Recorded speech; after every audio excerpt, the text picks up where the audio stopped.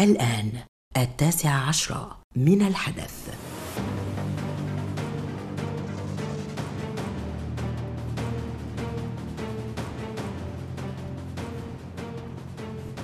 أهلا بكم إلى برنامج التاسعة عشرة الذي يمتد على مدى ساعتين وإليكم أبرز العناوين. للمرة الثالثة قصف يطال قاعدة بحرية للحوثي قبالة الحديدة. الحوثي صندوق بريد أمريكي إيراني وطهران توزع الأدوار على أدواتها.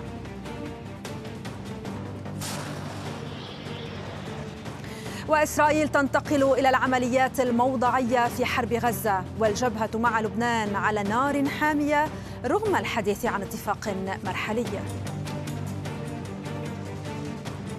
في أولى مهامه العمامرة يستكشف في بورسودان قبل لقاء البرهان ومالك عقار يبلغه أبعاد الحرب الإقليمية والعالمية.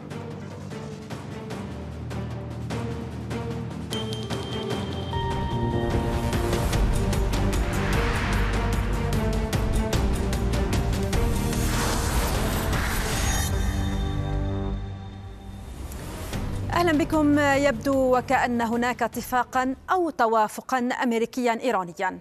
فواشنطن طالما أكدت على أنها لا تريد توسيع الحرب في المنطقة محذرة من ذلك منذ أرسلت المدمرة الأمريكية إلى المنطقة فيما أسمته سياسة الردع لعدم استرجاع أو لعدم اتساع رقعة الحرب. تلاها تصريحات شبه يومية تصب في الاتجاه ذاته لحين نقلت اليوم رويترز عن مصادر إيرانية قولها إن طهران لا تريد اندلاع حرب شاملة في المنطقة وإلا أن وكلاءها في المنطقة يتخذون قراراتهم بأنفسهم. وأكد مصدر إيراني لرويترز أن طهران تدعم الحوثيين في قتالهم على حد وصفه معتبرا أن الأمر متروك لإسرائيل والولايات المتحدة لوقف الحرب بحسب قوله. هذا الكلام اليمني يثبت تصريحات وزير الإعلام اليمني الذي اعتبر أن تبرير الحوثيين استهداف السفن التجارية بمزاعم نصرة غزة مجرد ذريعة لتصفية حسابات إيرانية مع القوى الدولية. بالموازاة أعلن الجيش الأمريكي شن ضربة جديدة ضد الحوثيين في اليمن استهدفت موقع رادار للحوثيين وأضاف الجيش الأمريكي في بيان أن الضربة الأحدث نفذتها حاملة الطائرات كارني باستخدام صواريخ توماهوك بهدف إضعاف قدرة الحوثيين على مهاجمة السفن. من جانبها قالت مواقع إعلامية حوثية أن الغارات الأمريكية الجديدة استهدفت قاعدة الديلم الجوية التي تقع في محيط مطار صنعاء. وكان الناطق باسم ميليشيا الحوثي في اليمن محمد عبد السلام قد قال إن الضربات الأمريكية في اليمن التي استهدفت أحدثها قاعدة عسكرية في صنعاء لم يكن لها تأثير يذكر في سياق الحد من القدرات اليمنية. وذلك للاستمرار في منع السفن الإسرائيلية أو المتجهة إلى إسرائيل من المرور عبر البحر الأحمر والبحر العربي.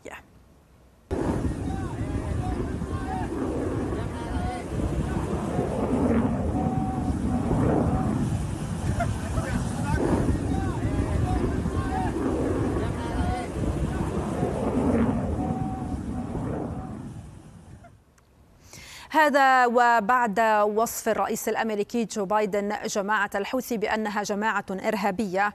أوضح بايدن أن بلاده سلمت رسالة بشكل خاص إلى إيران بشأن حركة الحوثي المتحالفة معها. وأضاف نحن واثقون من أننا مستعدون جيدا. الضربات القوية والبحرية للقوات الأمريكية والبريطانية سوف تؤثر بشكل كبير على المواطنين في اليمن من ناحية المعيشية وكذلك الإنسانية. فقد سوف يرتفع سعر الشحن إلى اليمن أضعاف المضاعف بسبب هذه الضربات. وكذلك سوف يؤثر بشكل كبير على المنظمات بحيث أنها لن تستطيع إيصال مساعداتها بشكل كامل بسبب ارتفاع تكلفة الشحن إلى اليمن. فهذا سوف يشكل يعني صعوبة كبيرة لليمنيين. نحن كي كمواطنين نتخوف من أن يطول أمد الحرب وتنعكس بشكل مباشر على الحياة المعيشية. وكما تعلمون نحن في اليمن عانينا من حرب مدتها ثمان سنوات انعكست بشكل كبير على حياة المواطنين. بعد وصول الهجمات الحوثية ضد حركة الملاحة إلى 27 هجمة يبقى السؤال الأهم في أعقاب الضربات إن كانت ستوقف تهديدات الحوثيين لحركة الملاحة البحرية. تجيب وكالة الصحافة الفرنسية على التساؤل وتؤكد أن تعطيل القدرات العسكرية للحوثيين ليست بالمهمة السهلة. وتنقل وكالة الصحافة الفرنسية عن خبراء وباحثين قولهم. إن الحوثيين يعملون على إخفاء ترسانتهم بالاستفادة من الجغرافيا الصعبة. ويؤكد الخبراء بأن الضربات الجوية يمكن أن تدمر جزءا من قدرات الحوثيين العسكرية لكنها لن تقضي عليها وسيظل التهديد مرتفعا. رأي آخر يضيفه الخبراء لفرانس بريس وهو أن فعالية الضربات تعتمد على المعلومات الاستخباراتية الأمريكية حيث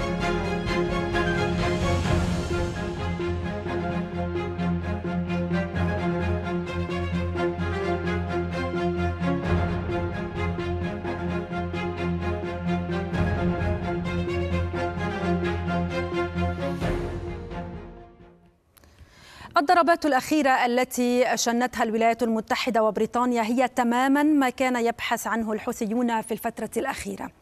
هذا ما خلص إليه تقرير عدته صحيفة واشنطن بوست التي قالت إن أمريكا وبريطانيا دخلتا حربا ستواجهان من خلالها عدوا اعتاد على القتال وخوض مثل هذه الحروب بشكل جيد. وتنقل الصحيفة الأمريكية عن محللين أن تلك الضربات لن تردع المسلحين عن مواصلة تقويض أمن الملاحة في المنطقة. وبالرغم من أن زعماء الدولتين يصفون تلك الهجمات بالناجحة إلا أن المحللين يرون أنها تكشف عن فشل واشنطن في احتواء التداعيات الإقليمية الناجمة عن الهجوم الإسرائيلي على غزة. ونقل تقرير الصحيفة عن خبراء قولهم إن الغرب وخاصة الولايات المتحدة يبحث عن حلول سريعة للصراعات الطويلة في الشرق الأوسط. مشيرين إلى النقص في التفكير الاستراتيجي بما في ذلك ما يتعلق باليمن والفشل في استثمار هذا النوع من الاهتمام الذي كان من الممكن أن ينتج بديلا لهيمنة الحوثيين.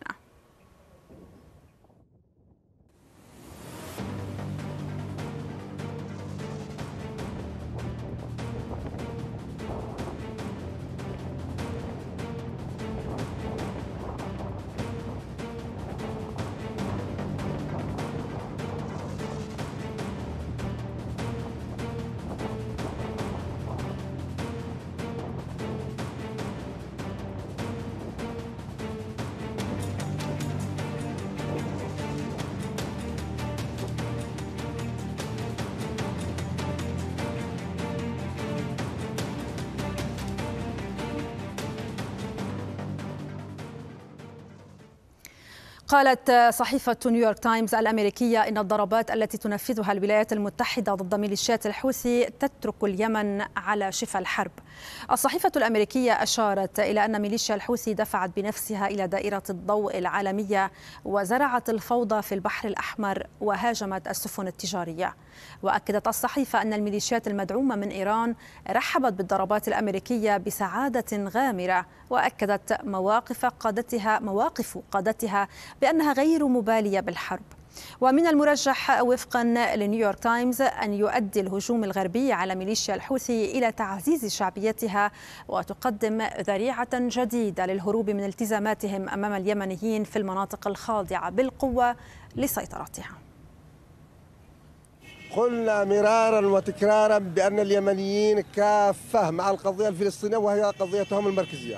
لكن التهديدات المستمرة للملاحة الدولية من قبل جماعة الحوثي هذه التهديدات لا تخدم إلا الجانب الأمريكي والجانب الإيراني. إحنا متضررين بهذا الشيء كوننا إحنا في تعز محاصرين ومنتضرر أكثر وأكثر. فالحوثيين لما عملوا هذا الشيء يعني ما بيسووش حاجة لفلسطين بالعكس.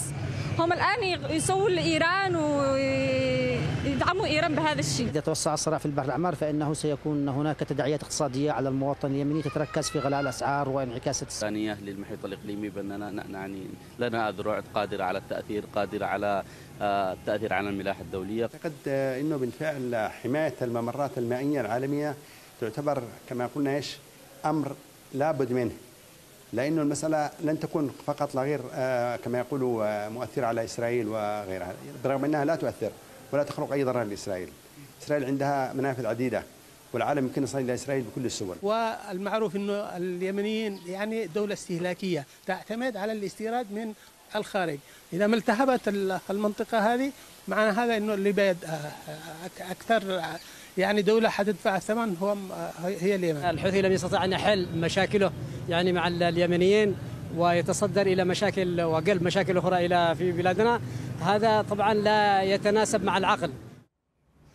من واشنطن ينضم إلينا مستشار الحدث الشؤون الأمريكية الدكتور وليد فارس. أهلا بك دكتور وليد إلى التاسعة عشرة. آه، يعني يكثر الحديث عن اتفاق أمريكي إيراني. آه، أمريكا لا تريد توسيع نطاق هذه الحرب في المنطقة وإيران لا تدخل بمواجهة مباشرة ولكن توظف يعني أذرعها وبالرغم من ذلك نرى بأنها تتنصل من هذه الأزرع، تقول بأنها صحيح تدعمها ولكن لا توحي ولا تشير لها متى تدخل بمعارك محدودة أو متى تقوم بالهجمات التي تقوم بها. كيف يمكن تفسير الموقف الإيراني؟ يعني عندئذ لماذا تقوم بهذه الهجمات؟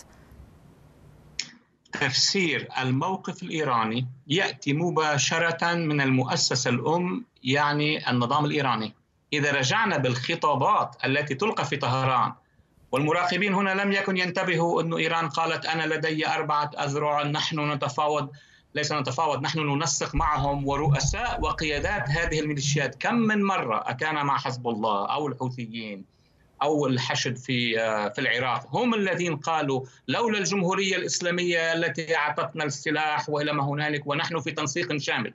كل هذا الكلام أطنان من هذا الكلام يقال واليوم تأتي يأتي النظام الإيراني ويقول لا علاقة لي بهذه الميليشيات. يعني الناس لا يمكن أن تخدع بهذه الطريقة. قليل من ال research من الأبحاث على الجوجل وتأتي كل الأجوبة. ما يجري الآن هو كلام النظام الإيراني يستعمل في أمريكا هنا في واشنطن ونيويورك من قبل الذين يؤيدون الاتفاق النووي الإيراني فيقولوا انظروا انظروا طهران لا علاقة لها بالموضوع فلنتفاوض معها يعني سمعنا بتقريركم ما كان تنشره واشنطن بوست والنيويورك تايمز هاتان وسيلتان إعلاميتان تؤيدان الاتفاق النووي الإيراني. يعني الكلام الإيراني هو للأسواق الأمريكية والأوروبية ليقولوا نحن لا علاقة لنا بها هم قرروا. الحوثيون يقررون إقفال البحر الأحمر منذ متى هم قادرين؟ بقرار طيب. دكتور وليد إذا كانت هذه الرواية يعني يمكن أن تمرر على هذه الدول على الغرب لماذا نرى بأنه بالمقابل أيضا حتى الولايات المتحدة وبريطانيا عندما تقومان بضربات تقومان بضربات محدودة ويقول الخبراء بأنها فعلا لا تؤدي إلى شل حركة الحوثيين وقدرتهم الكلية على استهداف السفن في البحر الأحمر. يعني وكأنها ضربات رمزية فقط ليقولوا بأننا رددنا عليهم. النقطة الأخيرة صحيحة. هذه الضربات ليس هدفها. وقالتها القيادة العسكرية في سنتكوم وقالها البنتاغون هم قالوها بكل صراحة. نحن لا نضرب لإسقاط نظام الحوثيين. هل, هل قال أحد في واشنطن أن هذا هو الهدف أو بلندن؟ لا.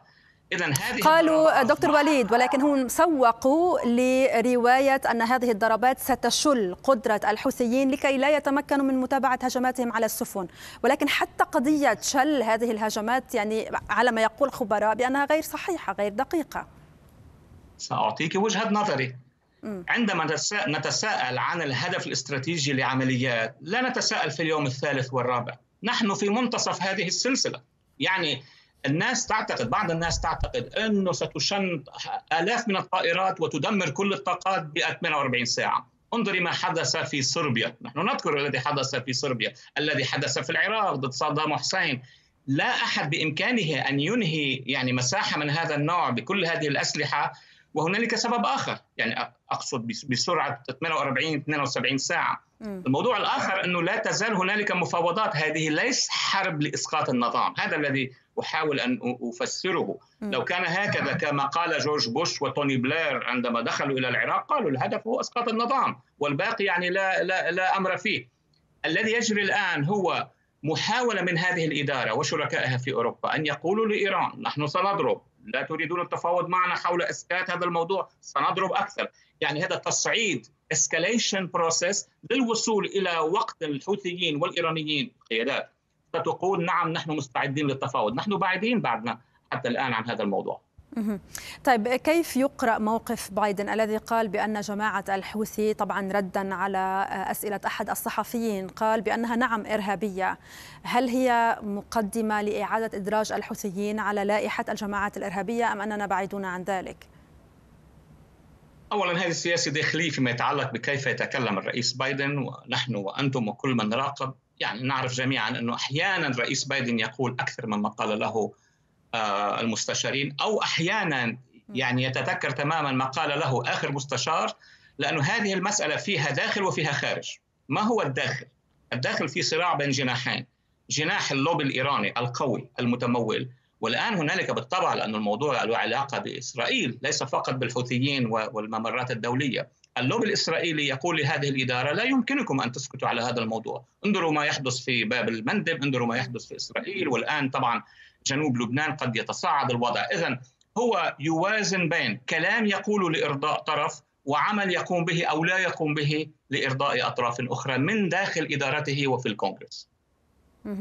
شكرا جزيلا لك مستشار الحدث للشؤون الأمريكية الدكتور وليد فارس. كنت معنا مباشرة من واشنطن. شكرا لك. أهلا بكم.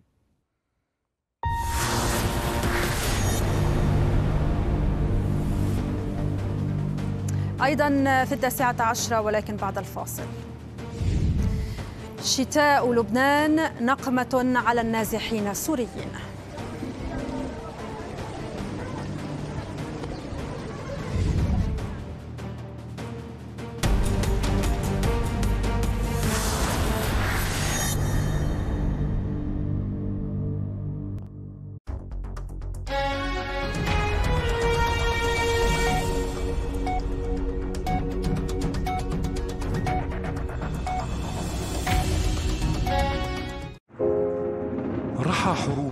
تتوقف.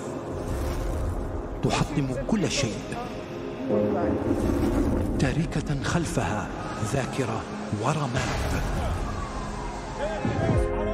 وحكايات يرويها من بقي منهم. لكي تبقى شاهدة على المكان والزمان والإنسان.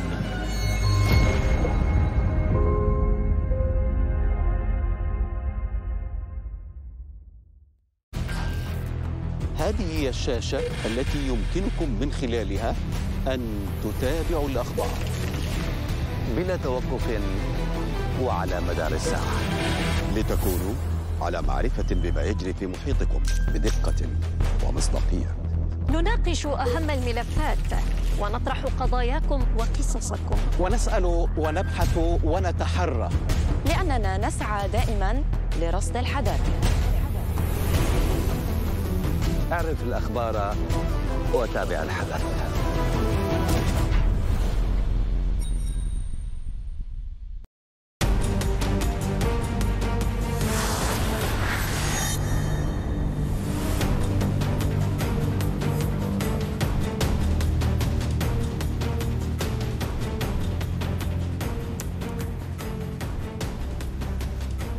أهلا بكم من جديد. أكد مسؤول السياسة الخارجية في الاتحاد الأوروبي جوزيف بوريل أن الوقت الدائم للقتال في قطاع غزة هو وحده القادر على تحسين وقف القتال على تحسين وضع المدنيين في القطاع.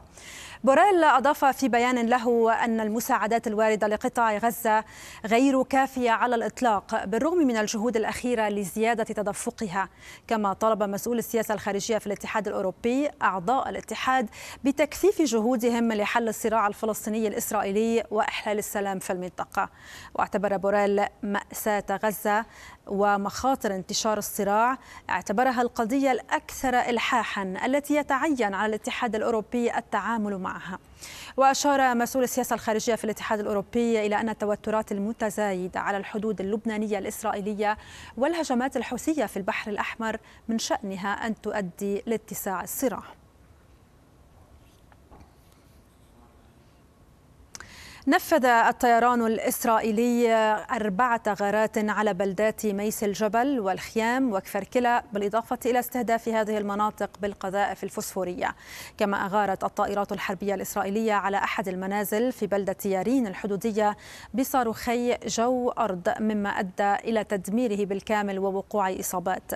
كذلك تعرضت أطراف بلدات عيتا الشعب ورميش وحولا ومنطقة خلة بناس لقصف مدفعي. في المقابل نفذ حزب الله سلسلة عمليات استهدفت ثكنة برانيت كذلك موقعي بركة ريشة والعاصي. اعتبر رئيس أركان الجيش الإسرائيلي هيرتس هليفي أن من يربط وقف التصعيد على الحدود اللبنانية بوقف القتال في غزة سيدفع أثمانا متزايدة.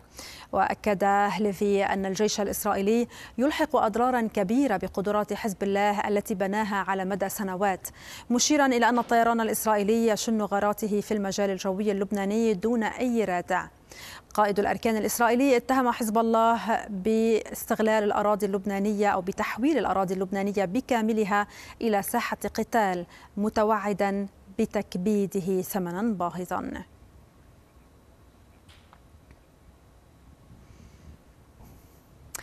وضعت إسرائيل حربها في غزة على نار هادئة لكن لم تهدأ الجبهات. وتنكب بكل ثقلها العسكري والاستخباراتي على جبهة الشمال مع حزب الله. الخميس الماضي طار المبعوث الأمريكي آموس هوكشتاين من بيروت حاملا خيباته بعد أن نعى المفاوضات الرامية لحل دائم للصراع في جنوب لبنان. آمال هوكشتاين المعلقة على حل الصراع أو حل مؤقت للصراع بددها الكاتب البارز في صحيفة نيويورك تايمز توماس فريدمان باعتباره أن إسرائيل ذاهبة إلى أبعد من كل التوقعات وإلا فمصيرها الزوال. على الجبهة يواجه حزب الله غضب تل أبيب ويعد جثث مقاتليه وقادته الذين تخطوا المئة وخمسين قتيلا منذ بدء المعارك. معظم قتلى حزب الله سقطوا في مواقعه المحاذية للحدود بحسب مركز ألما الإسرائيلي للأبحاث. وذلك ما دفع بأعداد جديدة من سكان البلدات الجنوبية حتى البعيدة عن الحدود إلى النزوح شمالا وباتجاه البقاع. وتقول مصادر الحدث إن حزب الله أعد استراتيجية جديدة لتفادي الخسائر المادية والبشرية الفادحة في مناطقه أي الجنوب والبقاع. واتجه الحزب خصوصا بعد حرب 2006 إلى إنشاء مراكز جديدة في مناطق عدة في الشمال منها طرابلس وتحديدا أبي سمرة وفي بلدة تبنين العكارية وكذلك في جرود بلدتي الهرمل ومشمش العكارية بالإضافة إلى جرود منطقتي بشري والضنية وتحديدا في منطقة القرن السوداء. ولا تقتصر هذه المراكز على التدريب العسكري والميداني بل تشمل التجنيد لمقاتلين من خارج ما تسمى بيئة حزب الله مستغلا الأزمة الاقتصادية الحادة التي يعاني منها سكان هذه المناطق بحسب مصادر الحدث. ومن بيروت ينضم إلينا المحاضر الجامعي والمحلل السياسي الدكتور صالح المشنوق. أهلا بك دكتور صالح إلى تسعة عشرة. تحدثنا إذا عن نعي لأي اتفاق دائم بين لبنان وإسرائيل ولكن حتى على ما يبدو الاتفاق المؤقت لم تتضح معالمه بعد. هل هناك أي معلومات عما تم الاتفاق عليه حتى الآن؟ والله لحد اليوم نعرف إنه قام المبعوث الرئاسي الأمريكي آموس هوكشتاين بزيارة بيروت لمناقشة تفاصيل إمكانية تفادي الحرب بين إسرائيل وحزب الله. ما في أي معلومات جدية عن تفاصيل المقترح اللي عرضه المبعوث الأمريكي. طبعا التخوف هون من ربما نظرا للتاريخ القريب لممارسات المبعوث الأمريكي نقطتين أساسيتين. النقطة الأولى أنه هو طبيعته ديل ميكر وبالتالي قد يتوصل إلى اتفاق لا يلبي الحاجات الجدية للحقول دون نشوب أعمال عسكرية وإمكانية حرب بين لبنان بين حزب الله وإسرائيل في المدى القريب والبعيد والثانية هو إمكانية أن يكون يتفاوض على الدولة اللبنانية وذلك بغياب الدولة اللبنانية عن التفاوض وعملية التفاوض. وبالتالي إعطاء حزب الله جوائز طردية في الداخل اللبناني مقابل إراحة إسرائيل في الجنوب اللبناني. وهذا شيء لن يكون غريبا على تاريخ هذا الفريق السياسي. نتذكر جيدا كيف في العام 91 تم تسليم لبنان إلى النظام السوري وإبعاد الشريك العربي عن إدارة شؤون لبنانية ما بعد الطائف. وكيف احتل السوري لبنان مدة 15 عاما؟ طيب ولكن دكتور صالح يعني حتى لو أخذ السلام مع إسرائيل حتى. لو تمت مقايدة هذا الموضوع بمعنى أعطي لحزب الله ما يريده في الداخل اللبناني. يعني هل يمكن مقابل ذلك أن ينسحب إلى ما بعد الخط الأزرق؟ لأنه على ما يبدو إسرائيل تريد ذلك ولو اختلفت الطرق. تقول بأننا نريده بالطرق نفضله بالطرق الدبلوماسية ولكن إن لم ينجح ذلك سنتوجه إلى الأساليب العسكرية وبالتالي هذا مطلب على ما يبدو لن تتخلى عنه. والله نحن نحن أمام احتمالين صراحة، الاحتمال الأول هو أن ينفذ حزب الله القرار 1701 الذي وافق عليه هو في العام 2006 بعد خوضه للحرب التي قال عنها أمين عام حزب الله أنه لو كان يعلم بنتائجها لما خاضها. وهذا القرار يقول بصراحة أن الجيش اللبناني وقوات اليونيفيل هما الجهتين الوحيدتين المخولتين التواجد العسكري جنوب الليطاني. وأما الظاهر من الموجود واللي عم نراقبه العودة إلى حرب هي تكون الرابعة على حساب لبنان بين حزب الله وإسرائيل بعد حروب 93 و96 وال 2006 وذلك رغم عن إرادة الشعب اللبناني لأنه كل استطلاعات الرأي أظهرت أن الشعب اللبناني بأغلبيته الساحقة وبنسبة 76%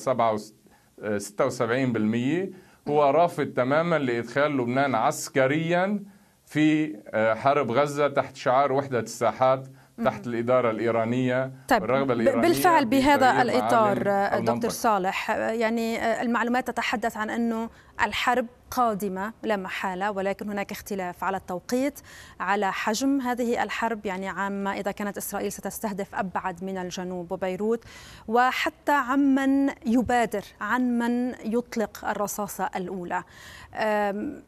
منهم من يقول بأن الحزب سيسارع إلى ذلك بما أنه يعلم بأن إسرائيل ستقوم بهذه الحرب والبعض الآخر يقول بأن إسرائيل هي التي ستقرر بداية هذه الحرب وشكلها إلى أي طرح تميل أكثر؟ هو للصراحة أمين عام حزب الله حسن نصر الله قال بصراحة أنه هو من فتح جبهة الجنوب يعني يجب أخذ هكذا شخصيات بهذا المستوى وبهكذا قدرة على القرار على محمل الجد.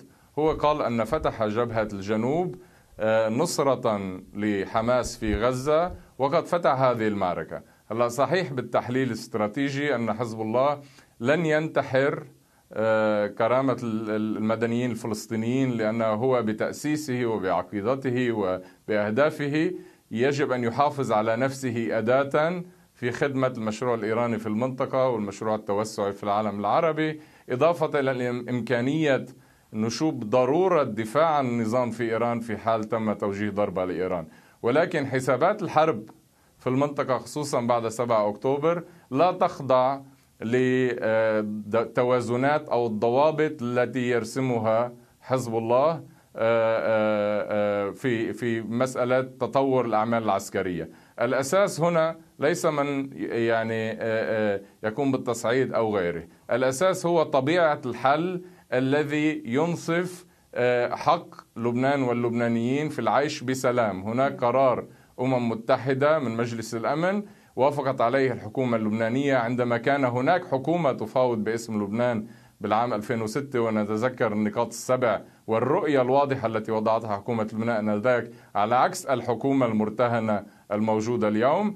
هذا القرار يقول بصراحة أن قوات الجيش اللبناني وقوات اليونيفيل يمسكان بالأمن والاستقرار في الجنوب وبالتالي لا يحدث تعديات إسرائيلية ولا حزب الله يقوم بالتقدم بقواته ولكن بعد انتهائه من حرب سوريا قام حزب الله بمضاعفة وجوده العسكري في الجنوب كجزء من الرؤية الاستراتيجية الإيرانية للمنطقة وتطور ذلك بعد أحداث 7 أكتوبر إلى قرار اتخذه منفردا آه، بالدخول آه، رغم إرادة اللبنانيين في آه، حرب غزة. نعم. وبالتالي للقيام ببهلوانيات عسكرية لم تساعد غزة بشيء. بل حضرت الأرضية لكي يفاوض هو وشريكه الإيراني على مستقبل لبنان والمنطقة. ولكن هذه الحسابات لا يمكن لنصر الله أو لغيره أن يضبطها على قاعدة إيقاعه هو أو حساباته هو هو شخصيا. نعم شكرا جزيلا لك الأستاذ المحاضر والمحلل السياسي الدكتور صالح المشنوق. كنت معنا مباشرة من بيروت. شكرا لك. ومن تل أبيب ينضم إلينا المحلل العسكري يوسي ملمان. أهلا بك سيد يوسي إلى التاسعة عشرة. دائما يشدد المسؤولون الإسرائيليون في خطاباتهم الأخيرة على أنهم يريدون تأمين جبهة الشمال عبر انسحاب حزب الله إلى ما بعد الخط الأزرق. ويقولون بأن ذلك سيكون إما بالطرق الدبلوماسية وهذا ما يفضلونه أو بالطرق العسكرية.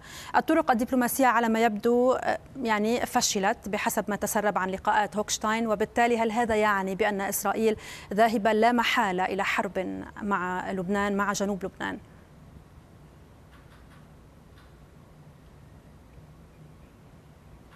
I don't think the diplomatic effort لا أعتقد أن الجهود الدبلوماسية قد فشلت فالولايات المتحدة تسعى مرارا وتكرارا عبر مبعوثها إلى لبنان للتوصل إلى تسوية دبلوماسية.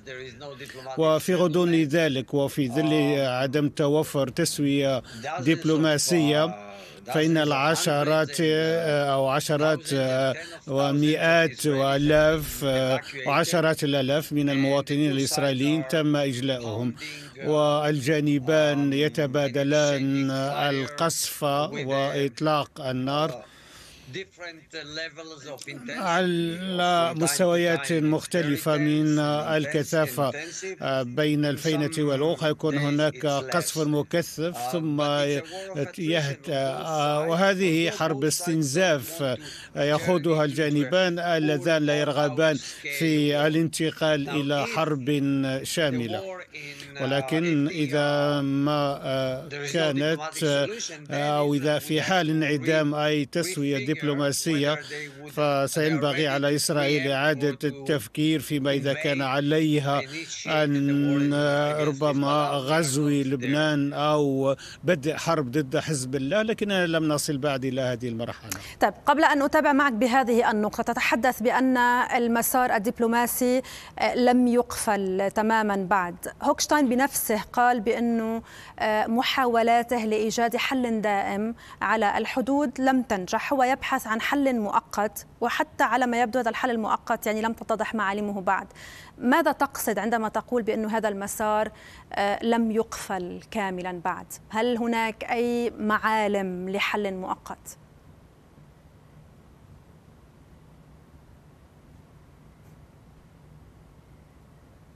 This assumption I think is wrong. هذا الافتراض باعتقادي خاطئ فالمبعوث الأمريكي سوف يسعى ويعيد المسعى ويزيد ويكرر مرة أخرى سعيا للتوصل إلى حل وقد زار المنطقة حوالي ثلاث أو أربع مرات ولكنه سوف يواصل المساعي من أجل إيجاد سبل آه، خلاقه آه، آه، تساعد على استقرار الوضع. والفكرة التي تم طرحها على الطاولة هي في الواقع عدم القيام أو عدم المطالبة بانسحاب القوات حزب الله وفقا لقرار مجلس الأمن 1701 والإبقاء على الوضع القائم كما هو في الوقت الراهن. ولكن محاولة التعامل مع الثلاث عشرة نقطة على امتداد الحدود الحدود بين إسرائيل ولبنان ويبدو الأمر سخيف لأن الجانبين يتجادلان بشأن مترين هنا وخمسة أمتار هناك وبالتالي يمكن بسهولة حل هذا الإشكال لكن الفكرة تستخدم من أجل خفض التصعيد. ولا زال أعتقد أن الدبلوماسية يمكن أن تحقق النجاح وإذا ما تعذر ذلك عندئذ فإن الجانبين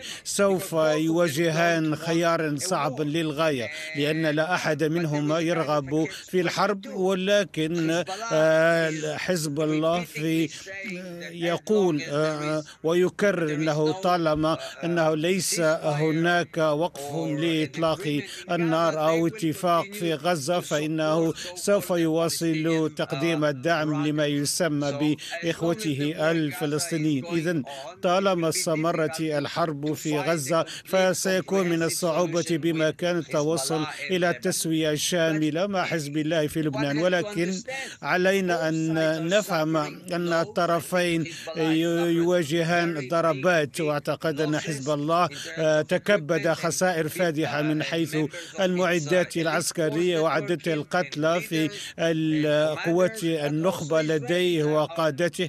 وكذلك الإسرائيليون يعانون حيث أن مدنهم ومزارعهم تتعرض للقصف ويتم إجلاؤهم منها.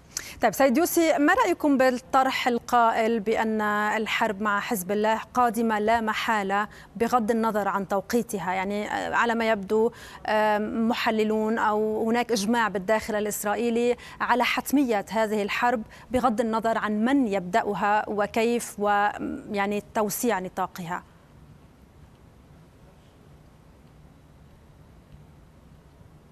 imminent. كلا لا أعتقد أن الحرب وشيكة أو لا يمكن تفاديها. وكما أسلفت الذكر من قبل فإن الطرفين لا يرغبان التصعيد. ولذلك فهما يحافظان على مستوى الاشتباكات عند مستوى معين يمكن إدارته. وكثافة الاشتباكات وكما أسلفت تتأرجح صعودا ونزولا. وإذا ما وهذا في الواقع الاتفاق الضمني بين الطرفين والحرب ليست بالضرورة في الأفق ولكن في حال الانعدام التوصل إلى حل. ففي نهاية المطاف يمكن أن تنشب الحرب أو يتم التصعيد وصولا إلى حرب شاملة بسبب عدم التقدير. ولكن يجب أن نتذكر أنه منذ عام 2006 وحتى شهر أكتوبر من عام 2023 عم السلام على امتداد الحدود الإسرائيلية اللبنانية بعد الحرب الثانية في لبنان بمعنى أن حزب الله قادر على الحفاظ على السلام والهدوء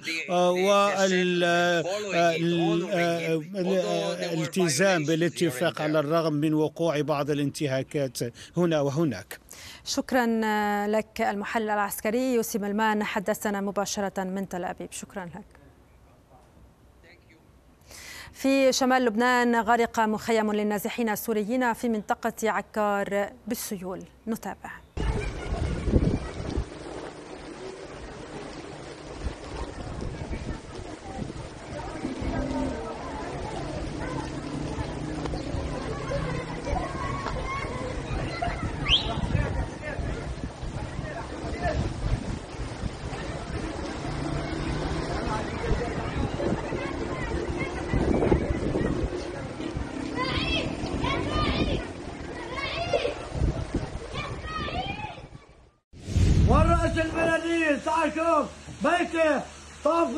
المجانير من الماء الدنيا خافوا الله لا بلدين بلدين تسكت ما مش خافوا الله قالوا لنا بالماء غريني بيتي راح دمه. فيما غرق أربعة بينهم طفل وتضررت عشرات المنازل والأراضي بسبب فيضان نهر الكبير الجنوبي بمحافظة طرطوس السورية. مصادر محلية أوضحت أن الأمطار الغزيرة تسببت في ارتفاع منسوب مياه النهر الكبير لتندفع لاحقا نحو ممتلكات المواطنين والفلاحين في قرى سهل عكار.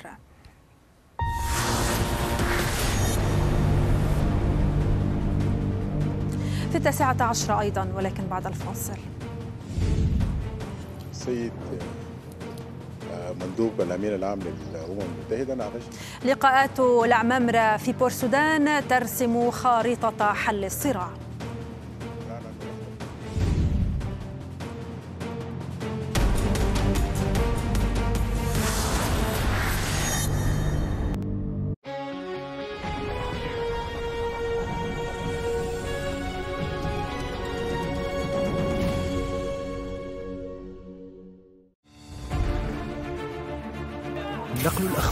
وتغطيتها يحتاج التزاما بأخلاقيات المهنة وميثاق العمل الصحفي. فلا تقتصر هذه الأخلاقيات على ما ينبغي قوله أو تصويره بل تكشف للناس ما هو أبعد من ذلك. كي يروا عن قرب ماذا يحدث حقا في كل تغطية إعلامية. فمبدأ التوازن هو المعيار والمصادر الموثوقة هي المرجع.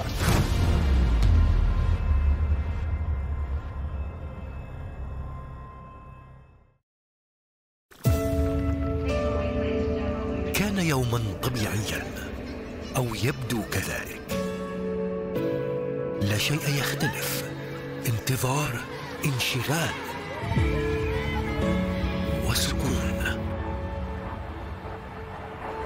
كانت لحظة تسبق الخبر بقليل. ثم يبدأ حدث يؤثر على حياة الناس. تفاصيل تختلف. قصص تتشابه. ويبقى الإنسان هو محور الحدث.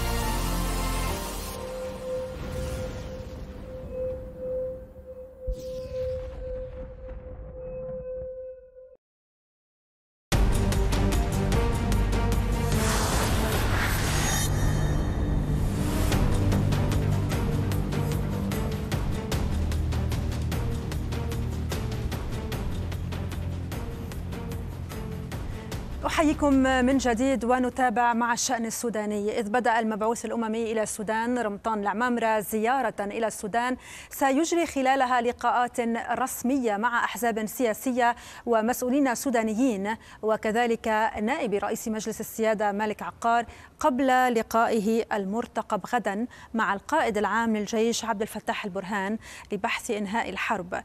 وهذه الزيارة هي الأولى للمبعوث الأممي بعد تعيينه في منصبه وسيستمع خلالها لوجهة نظر الأطراف ومواقفهم من سبل إيقاف الحرب والأوضاع الإنسانية. أفاد نائب رئيس مجلس السيادة مالك عقار للحدث أن رحلة المبعوث الخاص للأمين العام للأمم المتحدة رمضان العمامرة هي استكشافية والغاية منها الاطلاع على آراء السودانيين مؤكدا أنه سيبلور خارطة طريق لإنهاء الحرب ويقدمها للأمين العام للأمم المتحدة. وأبلغ عقار العمامرة أن الحرب لها أبعاد إقليمية وعالمية كما ناقش معه ما يحدث في أمن البحر الأحمر وتوقيع بعض الدول اتفاقيات ثنائية بينهم.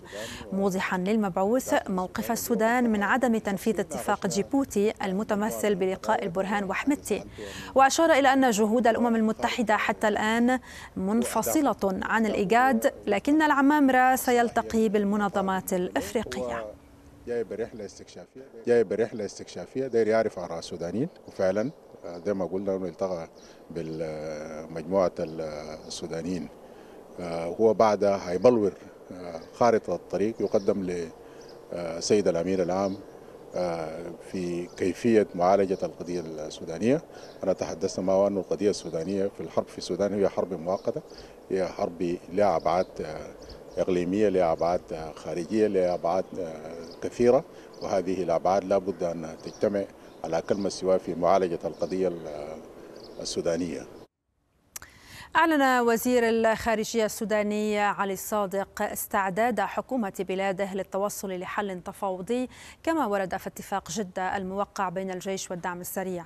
والتقى الصادق بالمبعوث الخاص للأمم المتحدة رمضان العمامرة وأطلعه على الأسباب التي أدت لاندلاع الحرب وما قبلها ودور الاتفاق الإطاري وتحركات الدعم السريع.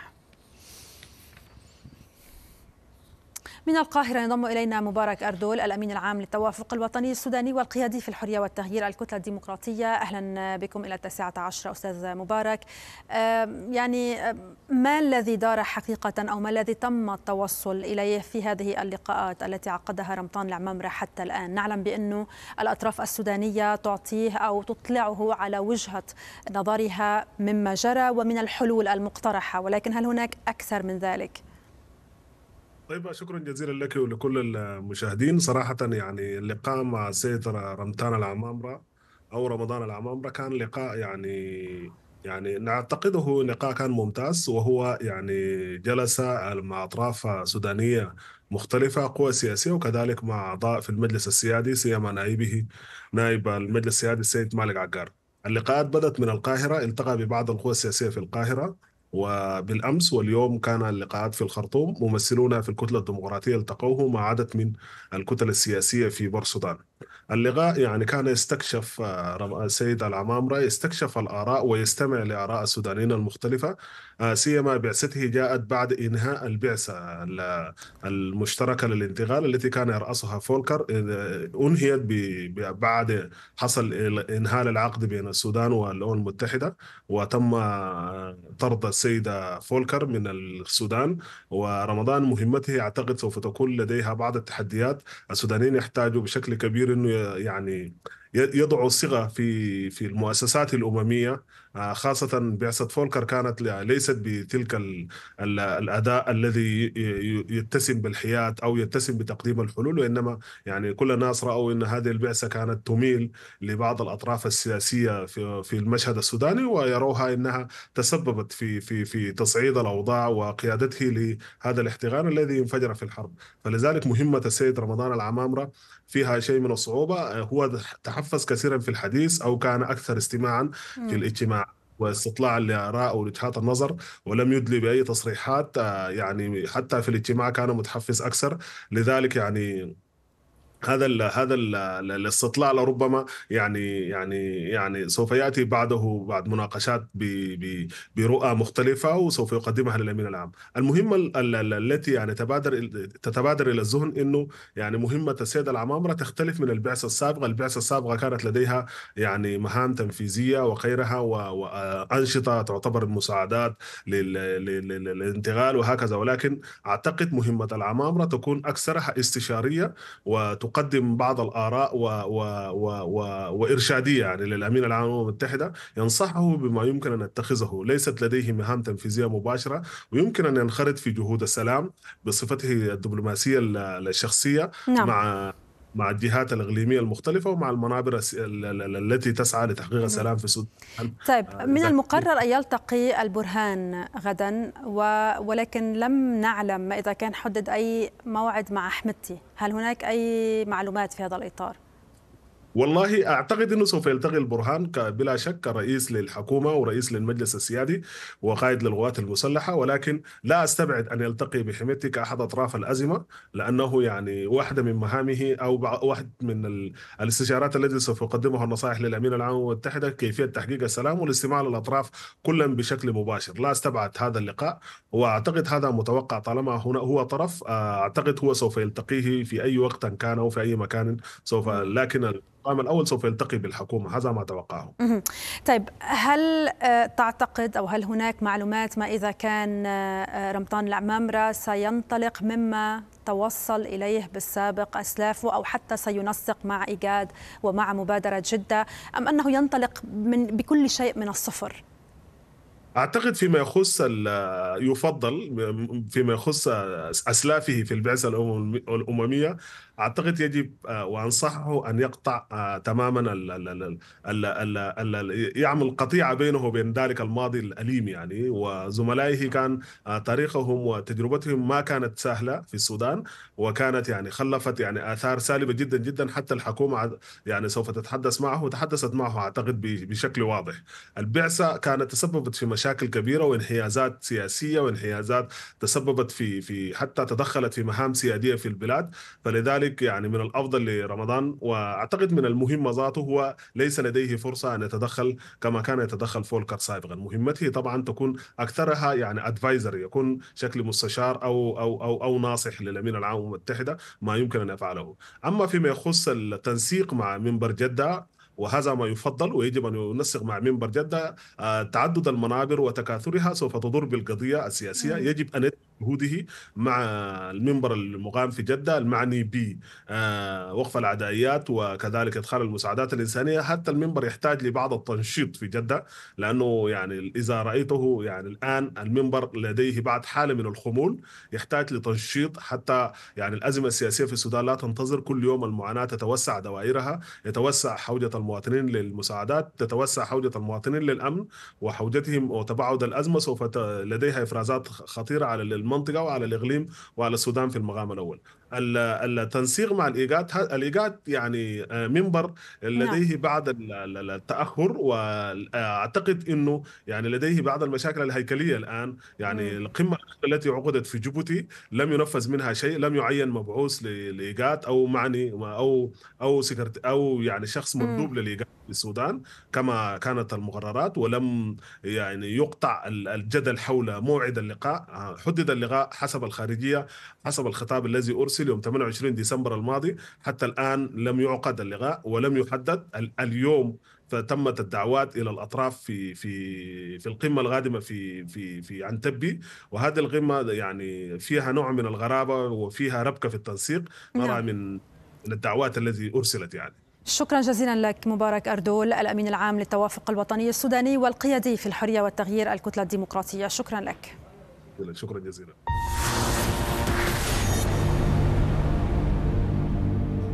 ترصد الصحفية خولة الخالدي كيفية مغادرة الأطقم الصحفية لمحيط مستشفى شهداء الأقصى نظرا لقرب توغل الجيش الإسرائيلي حيث يقوم الصحفيون بإزالة معداتهم والخروج من المنطقة بالكامل. هذه الخيمة خلفي كانت خيمة الصحفيين وكما نشاهد هنا الإعلام يقوم بإزالة معداته بالكامل والخروج من هذه المنطقة هنا مستشفى الشهداء الأقصى الذي كان يعج بالنازحين وبالعائلات والمصابين والكوادر الطبية. الآن كل هذا الأمر بات فراغا في هذه المنطقة وما زالت عمليات الخروج من المستشفى جارية في ظل أصوات الاشتباكات وأصوات الحدائق الإسرائيلية التي تطلق بكثافة منذ الليلة الفائتة. وحتى هذه اللحظة دون توقف. مع التأكيد أيضا أن الجيش الإسرائيلي أقدم على قطع الاتصالات والإنترنت في هذه المنطقة بشكل مباشر. وهذا الأمر الذي أنذر المواطنين فعليا بإمكانية أن يكون هناك عملية توغل بري في هذه المنطقة. مجريات الأمور الميدانية هي من ستحدد هذا الأمر بطبيعة الحال. سنقوم باستكمال التغطية ولكن من مكان أكثر أمانا إن كان متوفرا وبهذا نأتي إلى ختام الساعة الأولى من التاسعة عشر دقائق ونفتح ملفات الساعة الثانية. ابقوا برفقتنا.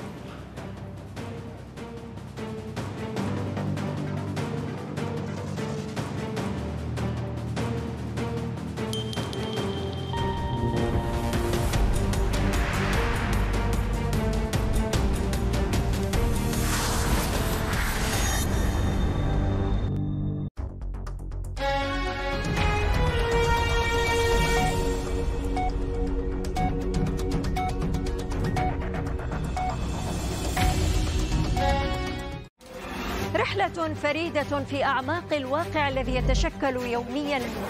أمام أعيننا. محاولة جادة صادقة. لسبر أغوار الحقائق التي لا تتأثى فرادى ولا تنشأ من عدم. بمنأى عن سابقات تمهد لها. ولاحقات تتفرع عنها. تتداخل الوقائع. تتشابك الحقائق.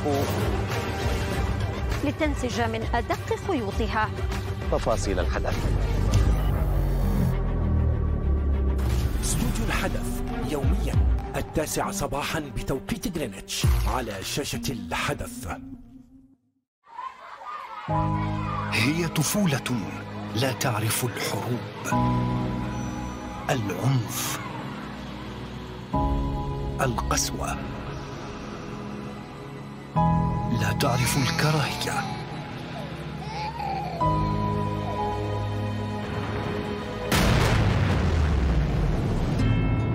لكنها تدفع ثمن كل ذلك.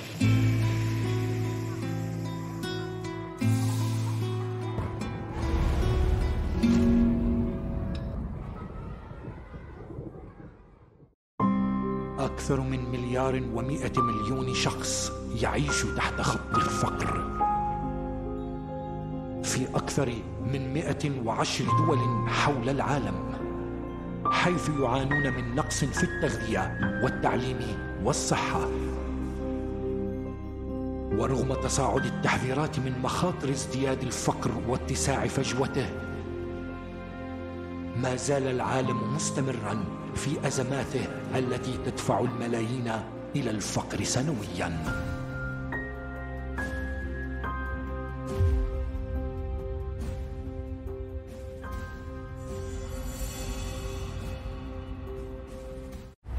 كونهم في الخطوط الاماميه من قلب الأحداث يعرفون جيدا التأثير الذي يمكن أن تحدثه معطيات الأخبار وأهميتها.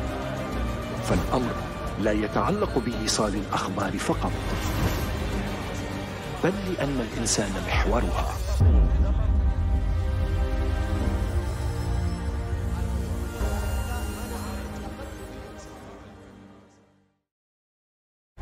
تجدد المعارك بين الجيش والدعم السريع في العاصمة الخرطوم. هذه المعارك متواصلة بوتيرة واحدة. كأن المشهد يتكرر دائما إلى متى سيبقى الوضع على ما هو عليه؟ في سلاح المهندسين تحديدا. هل في الأيام الماضية كان هناك تعاطي مختلف مع تلك المنطقة غاية في الأهمية بالنسبة للطرفين؟ قوات الدعم السريع تريد أن تصعد من عملياتها العسكرية كل المناطق التي يسيطر عليها الدعم السريع الشعب يشعر بالأمان يشعر بالاستقرار. هنالك انتهاكات كبيرة لحقوق الإنسان. سوق الشعب تعرضت لنهب يعني بجد الحالة أصبحت صعبة. كيف تقرؤون دعوة مالك عقار الأخيرة؟ الحرب الآن في السودان هي حرب عبثية. كل طرف يسعى للثأر والانتقام من الآخر على حساب المواطن السوداني. الآن وبعد تعثر مفاوضات جدة ما السيناريوهات إذا القادمة؟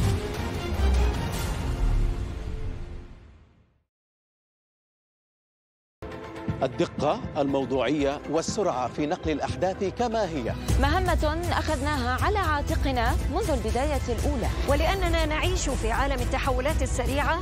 كنا دائما في قلب الأحداث بحثا عن الكلمة والمعلومة. نحن هنا لنقل وتوثيق وتحليل ما يدور على الساحات الإقليمية والدولية. الحدث حيث يلتقي الواقع والإبداع في العرض والتحليل على مدار الساعة.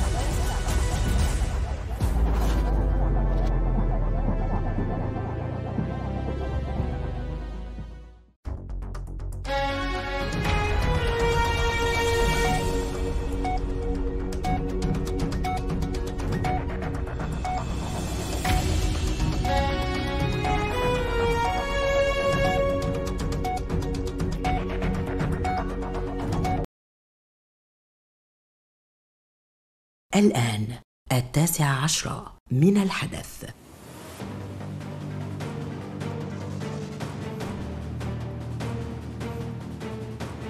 أهلا بكم إلى الساعة الثانية من التاسعة عشرة وإليكم أبرز العناوين. عشية المئوية الأولى الحرب التي تلطخ إنسانيتنا بحسب الأنروا معبر رفح يشعل حرب تصريحات مصرية إسرائيلية.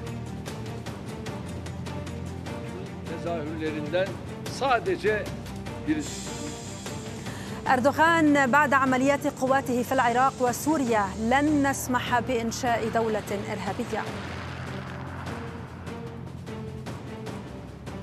الشأن الداخلي يفرق طرفي الصراع السوداني بين قبول دعوة الإيجاد ورفضها.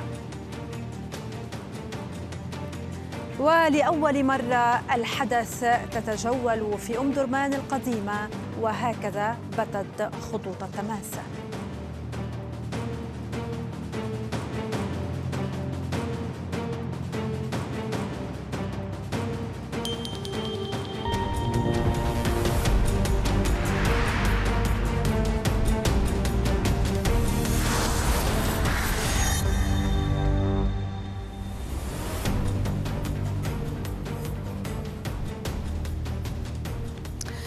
أهلا بكم مع مرور مئة يوم وصفت الأنروا الحرب الإسرائيلية في غزة بأنها تلطخ إنسانيتنا المشتركة فيما واصلت إسرائيل قصف غزة اليوم.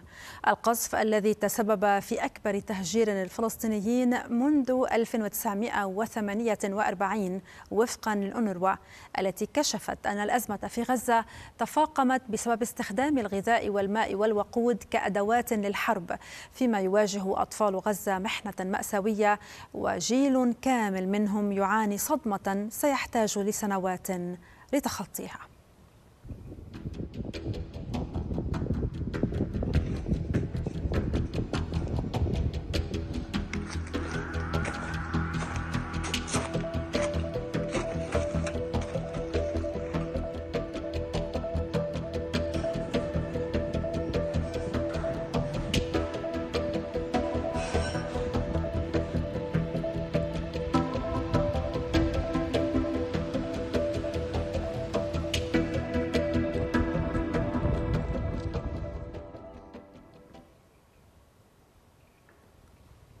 قال رئيس الأركان الإسرائيلي هرتز هليفي إن قيادة حماس على قناعة بأن وقف القتال في غزة سيكون قريبا.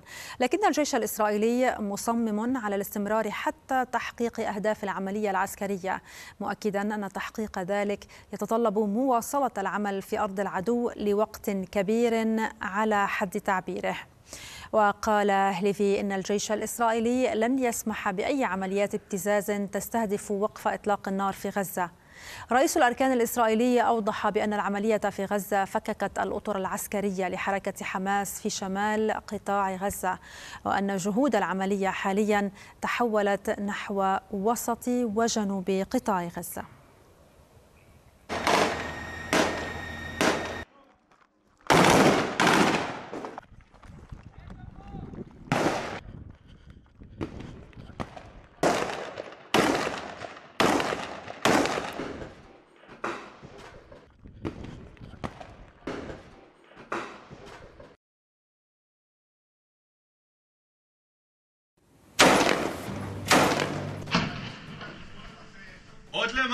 gato.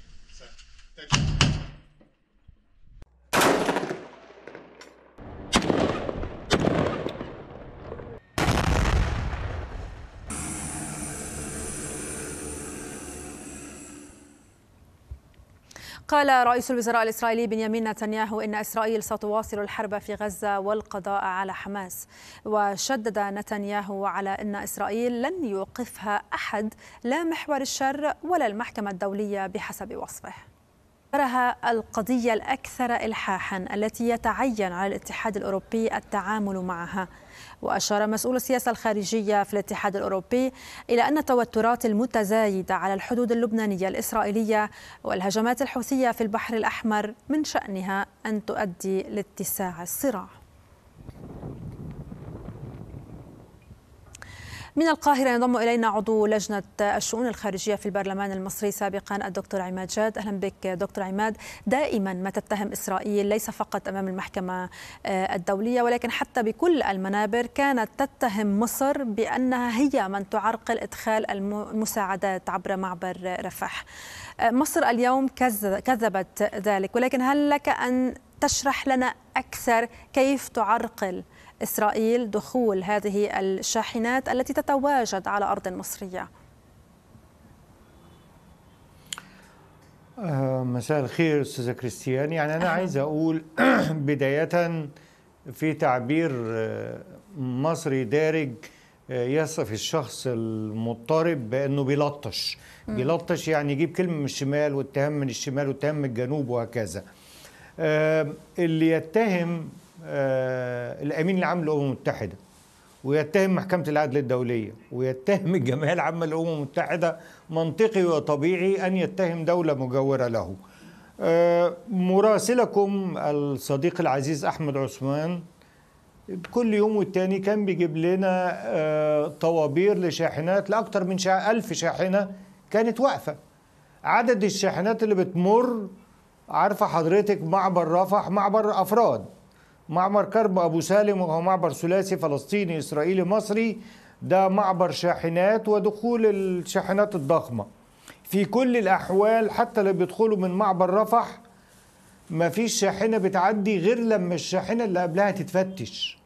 وكانوا أحيانا يتركوا الشاحنات بالساعات الطوال آه، بدون تفتيش. يقول لك ما هو ما ينفعش تمشي غير لما تفتش. وبعدين النقطة الثانية إنه كان بينزل ال- الشحنة سواء كانت مساعدات غذائية أو إنسانية أو مواد طبية أو غيره أو مياه بينزلها لإنها تتشحن على شاحنات آه، فلسطينية.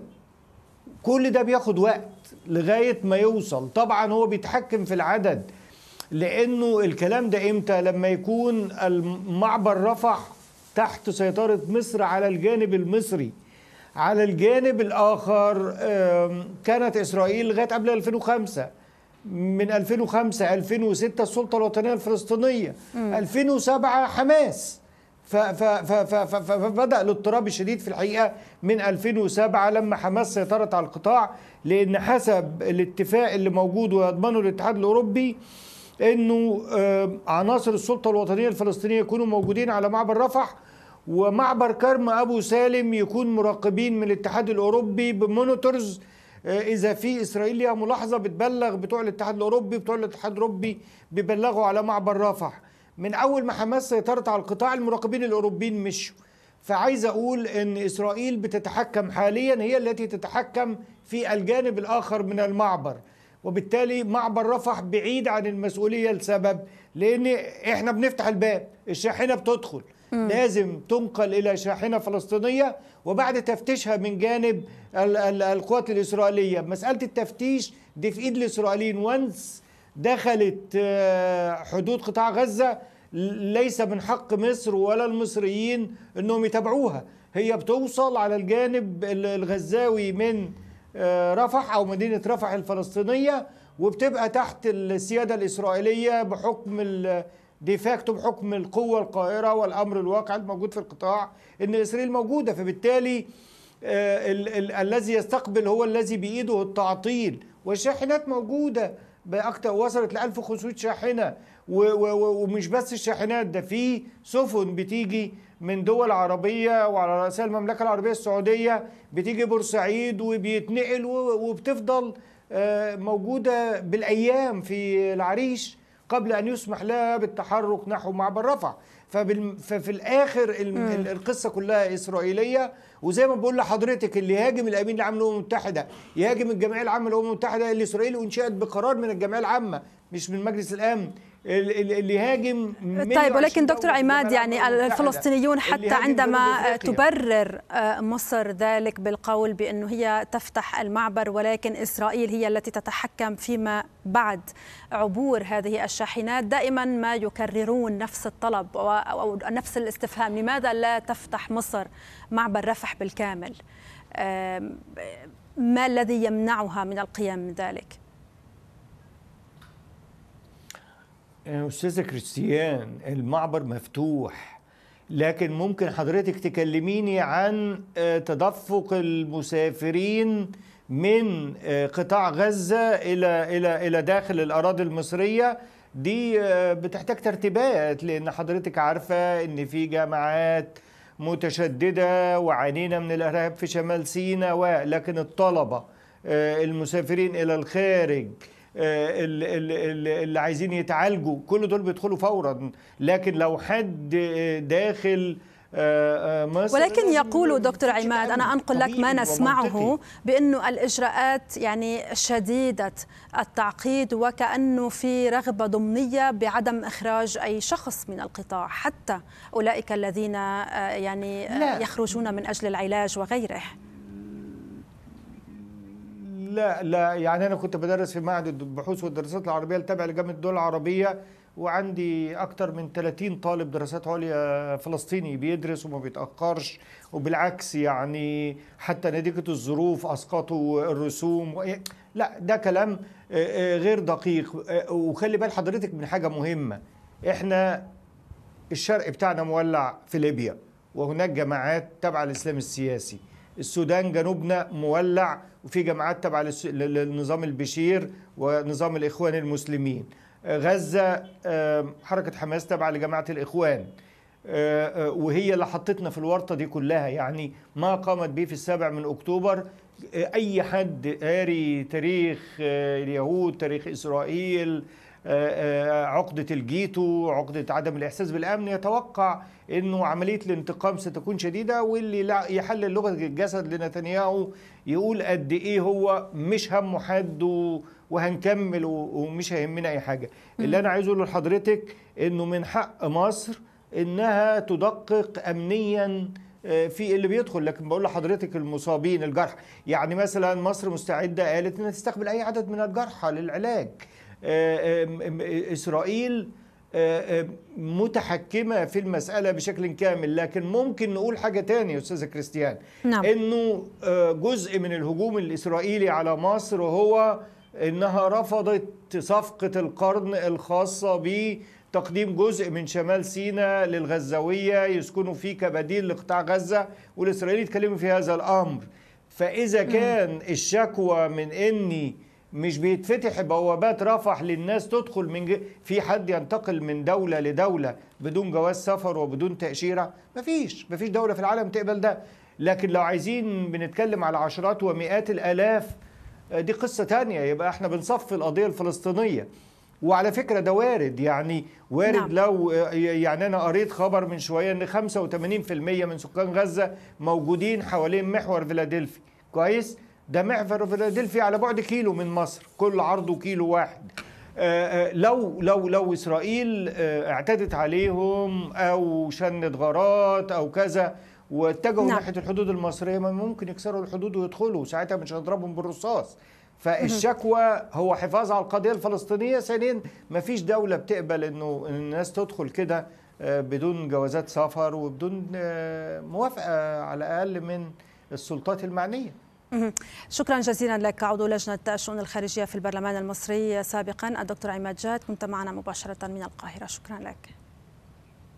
رصدت كاميرا الحدث الأوضاع والاشتباكات على شارع صلاح الدين بالقرب من مدخل دير البلح وسط قطاع غزة في ظل انسحاب الدبابات والآليات الإسرائيلية منه نتواجد على شارع صلاح الدين عند مدخل دير البلح. كما تشاهدون حجم الدمار والخراب في هذه المنطقة في, ظل الاستهدافات الإسرائيلية لهذا الشارع. كما تشاهدون أيضا ألسنة الدخان في هذه المنطقة التي تتعرض إلى استهدافات وإلى اشتباكات. تسمعون الآن صوت الاشتباكات بشكل واضح صراحة في هذه المنطقة. هذا المستودع لوكالة الأونروا الذي تم استهدافه بشكل مباشر. مباشر من قبل الجيش الإسرائيلي أثناء توغله في هذه المنطقة الواضح أن هناك عدد كبير من الدبابات كانت تسير على هذا الشارع شارع صلاح. الدين كانت هنا في ساعات الصباح. هذه الدبابات متواجدة هنا. لذلك كان هناك إخلاء لمستشفى شهداء الأقصى الذي لا يبعد كثيرا عن المكان الذي نتواجد فيه. وبالتالي هناك عمليات اشتباكات تدور في هذه المنطقة. هناك أيضا استهدافات من قبل الجيش الإسرائيلي الذي يست يستهدف المنازل وأيضا الأراضي الزراعية الفارغة. انسحب الجيش الإسرائيلي من هذه المنطقة وأعاد التموضع في المنطقة الشرقية لمخيم المغازي وأيضا مخيم البريج وأيضا دير البلح. هناك عدد كبير من المواطنين جاءوا هنا ليتفقدوا منازلهم ليتفقدوا الأماكن الذي انسحب منها الجيش الإسرائيلي. عمليا هناك حجم دمار كبير في هذه المنطقة وفي هذا الشارع شارع صلاح. الدين هناك أيضا اشتباكات. ألسنة الدخان ما زالت متصاعدة. نتيجة الاشتباكات والاستهدافات الإسرائيلية. طائرات الاستطلاع لا تفارق سماء هذه المنطقة خاصة في ظل تواصل الاشتباكات والاستهدافات وأيضا تواصل توغل الجيش الإسرائيلي في هذه المنطقة. أحمد حرب لقناة العربية والحدث من شارع صلاح الدين. وسط قطاع غزة.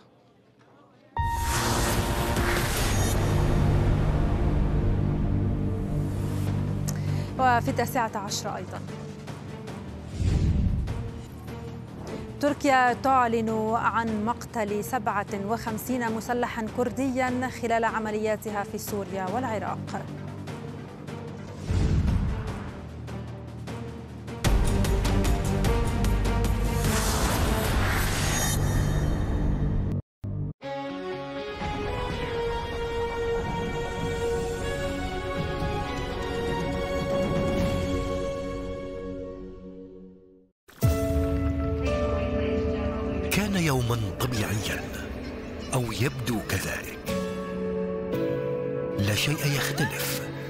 انتظار انشغال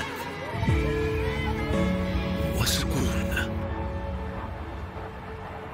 كانت لحظة تسبق الخبر بقليل. ثم يبدأ حدث يؤثر على حياة الناس. تفاصيل تختلف. قصص تتشابه. ويبقى الإنسان هو محور الحدث.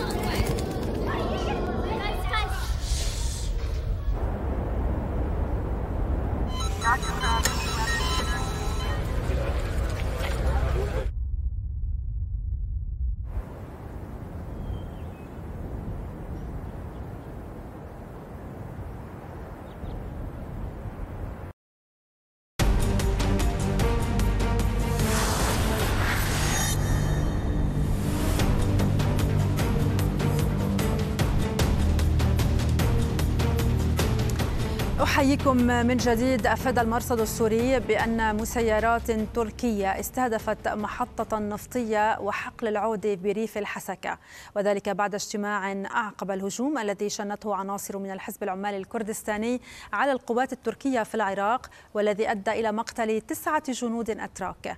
وأعلنت إدارة الرئيس التركي رجب طيب أردوغان أن أنقرة عازمة على القضاء على التهديد الإرهابي ومنع إنشاء دولة إرهابية بالقرب من حدودها الجنوبية.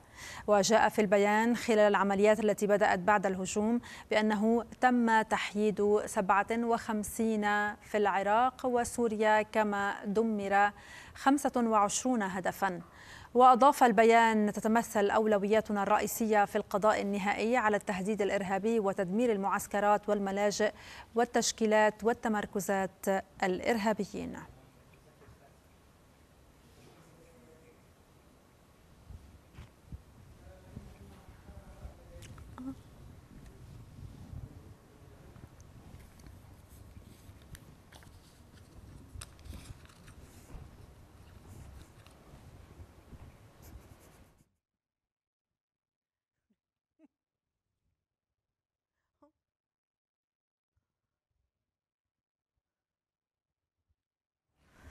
هذا الشخص الظاهر أمامكم على الشاشه ظل طوال عقود محل مطاردة من قبل القوات التركية وقتله أو إمساكه كان بمثابة الصيد الثمين بالنسبة لتركيا. إنه فائق أيضا أو ريناس ربرين وفق اسمه الحركي. وبالفعل ظفرت تركيا بصيدها الثمين. هذا وتمكنت من تحييده في عملية عسكرية قتل على إثرها عشرون مسلحا في شمال العراق. فمن هو فائق أيضا؟ كان أيضا مسؤولا عن تجنيد عناصر جديدة لصالح حزب العمال الكردستاني في أوروبا. وكما هو معروف فإن الحزب هو بمثابة العدو اللدود لتركيا والذي تصنفه منظمة إرهابية. وبعد سنوات قضاها في أوروبا انتقل أيضا في العام 2015 إلى شمالي العراق بحسب ما نقلت وكالة الأناضول عن مصادر أمنية. وبدأ هناك ممارسة ضغوطات على أهالي السليمانية في إقليم كردستان لدعم تنظيم البيكيكي والالتحاق بصفوفه. هناك حست تركيا بالخطر أكثر من أي وقت مضى وجندت استخباراتها لتنفيذ عملية ضده بعدما لعب دورا حساسا في صفوف الحزب. وأخذت الاستخبارات التركية في مراقبة أيضا عن كسب وأثبتت تورطه في أنشطة إرهابية في أوروبا تضيف وكالة الأناضول. لتتمكن أخيرا من تحييده. اثر عملية خاصة على بعد 160 كيلومترا من الحدود التركية في شمال العراق. لكن فائق لم يكن الوحيد في عائلته الذين انخرطوا في صفوف حزب العمال. إذ تقول مصادر الأناضول إن شقيقه سايغان أند أيضا شارك أيضا في أنشطة التنظيم بولاية أرضروم شرقي تركيا بين عامي 2014 و 2018 قبل أن يتم تحييده عام 2018 في حين قتل شقيقه الآخر فرهاد أيضا بينما كان ينشط في صفوف واي بي جي أي البي كي شمالي سوريا في الفترة الممتدة بين 2013 و 2014 ومن أربيل ينضم إلينا عضو الحزب الديمقراطي الكردستاني محمد زنكنة ومن إسطنبول ينضم إلينا الكاتب والمحلل السياسي طه عودي أوكلو. أهلا بكما إلى التاسعة عشره أبدأ معك أستاذ طه وعن يعني الفوائد وما الذي تجنيه تركيا من قتل أيضا اليوم. تحياتي لك في البداية والسادة وضيفك الكريم والسادة المشاهدين. يعني من دون شك يعني تركيا كما ذكرت قبل قليل بأنه حزب العمال الكردستاني هو من الأحزاب العدو اللدود لأنقرة منذ تقريبا ثلاثة عقود. وتابعنا خلال الساعات الأخيرة الماضية كان هناك مقتل عدد كبير من الجنود. أيضا هو كان المسؤول عن تجنيد عناصر حزب العمال الكردستاني في أوروبا. وأيضا المخابرات التركية والاستخبارات التركية خلال الفترة الأخيرة الماضية هي نجحت في تحييد عدد كبير من القيادات حزب العمال الكردستاني حتى المتواجدة في الداخل التركي. وفي الشمال العراقي يعني هناك كانت محاولات من قبل هذا الرجل وأيضا قيادات أخرى تم تحييدهم من قبل المخابرات التركية خلال الفترة الأخيرة الماضية وساهمت هي بشكل كبير في قتل عدد كبير من الجنود وحتى المدنيين الأتراك. الآن نستطيع أن نقول يعني بأن المواجهة ما بين أنقرة وحزب العمال الكردستاني وصلت إلى مواجهة صعبة خاصة إلى أن كلا الطرفين هناك لا توجد هناك نقطة تلاقي خاصة كما تعلمين تتذكرين تركيا في عام 2013 في أثناء حزب العدالة والتنمية حاولت لإيجاد حل من ناحية سلام ما بين الطرفين لكنها ارتطمت هناك بالكثير من العوائق وعاد حزب الكردستاني لشأن هجماته ضد الجنود الأتراك في داخل تركيا وحتى يعني على حدودها مع العراق. لذا أنا بتصوري أعتقد يعني ما تقوم به تركيا حاليا هي لحفظ أمنها بالدرجة الأولى وخاصة يعني كما نتابع دائما يعني في تقريبا أكتوبر الماضي. تتذكرين كانت هناك عملية إرهابية حصلت في العاصمة أنقرة في القرب من البرلمان. اليوم وخاصة إذا تحدثنا عن أن هذه العملية أو مقتل هؤلاء الجنود ممكن أن نقرأها من زاوية مختلفة وهي زاوية ممكن أسميها هي مبدأ الجمع ما بين التهدئة ويعني التصعيد. ما قام به حزب العمال الكردستاني حاليا هو التصعيد. وخاصة عندما هناك نلاحظ أن هناك محور واشنطن نلاحظ أن هناك توتر تركي أمريكي نلاحظ أن هناك صعود للعمليات الإرهابية من قبل حزب العمال الكردستاني. وأي تقارب تركيا أمريكي نلاحظ حالة من التهدئة. لذا أعتقد طيب. أن هذه العملية التي قامت بها أو قام بها الحزب هي تأتي في هذا الإطار. اسمح لي أن أنتقل إلى ضيفنا على ما يبدو أصبح جاهزا معنا كان الصوت غير جاهز بعد. أستاذ محمد هل هناك أو كان تنسيق تركي عراقي تحديدا مع إقليم كردستان بما أن أيضا قتل في شمال العراق؟ نعم مساء الخير. تحية لكم ست كريستيان وللضيف الكريم والمشاهدين والزملاء. لا يوجد أي تنسيق بين أقليم كردستان ولا أي جهة أخرى في مسائل تتعلق بالصراع المسلح بين تركيا وحزب العمال الكردستاني. على العكس في عام 2008 الرئيس نيتشيرفان بارزاني اقترح مشروع للسلام بين تركيا وحزب العمال الكردستاني وتقريبا باشر الجانبان أي الجانب التركي وإقليم كردستان بتنفيذ هذا المخطط لولا اعتداءات البككة ضد الجنود الأتراك منذ عام 2010 وحتى هذه اللحظة. عندما نتقدم خطوة. للأسف تؤخرنا البككة عشرة خطوات إلى الوراء. أما فيما يخص الجانب العراقي فبكل صراحة التنسيق موجود منذ عام 1900 تقريبا 3 أو 84 باختراق الحدود العراقية. لمسافة لا تقل عن 35 إلى 50 كيلومتر لملاحقة عناصر حزب العمال في داخل العمق العراقي. إذا هذا التنسيق حتى لو لم يكن موجودا في الآونة الأخيرة لكنه موضوع وله أساس منذ ثمانينيات القرن الماضي. فيما يتعلق باقليم كردستان. كون هذا الموضوع يعني حصل في داخل حدود إقليم كردستان بكل صراحة الإقليم متورط في هذه العملية، هناك تجربتين كرديتين في هذه المنطقة، تجربة إقليم كردستان والتجربة الكردية في سوريا، في إقليم كردستان التجربة كانت وما زالت براغماتية، هناك احتواء للمشاكل، هناك علاقات ممتازة مع تركيا، علاقات ممتازة مع طهران، هناك استقبال للرئيس مسعود بارزاني وللرؤساء في إقليم كردستان لرؤساء الوزارات وللوزراء في الإقليم بشكل ودي جدا. هناك علاقة غير مسبوقة عسكرية حتى في بعض الأحيان في مجال التنسيق في فترة الحرب ضد إرهابي داعش خصوصا البيشمركة عبروا من تركيا نحو كوباني إذا هذه البراغماتية غير موجودة لا في حزب العمال الكردستاني ولا في التجربة الكردية في سوريا. إذا عندما يكون هناك تنسيق فيما يتعلق بمسألة السلام وتقريب ذات البين وتقريب وجهات النظر بين الأطراف إن كانت في سوريا أو كانت في تركيا أو كانت في إيران يكون تكون حكومة إقليم كردستان متواجدة في نقطة البداية إلى نقطة النهاية حول هذا الموضوع. ولكن عندما يتورط إقليم كردستان بهذه المواضيع فالبككة هو السبب لأنه وبكل صراحة ومنذ سبعينيات القرن الماضي في مسائل تتعلق بتصفية الحسابات وتصدير الأزمات وتصدير المشاكل السياسية دائما هو يعتدي ويتحرش بالقيادات السياسية الكردستانية بدليل أن تشاتين جونجر وأحمد شنر وكانوا من القيادات المؤسسة لحزب العمال الكردستاني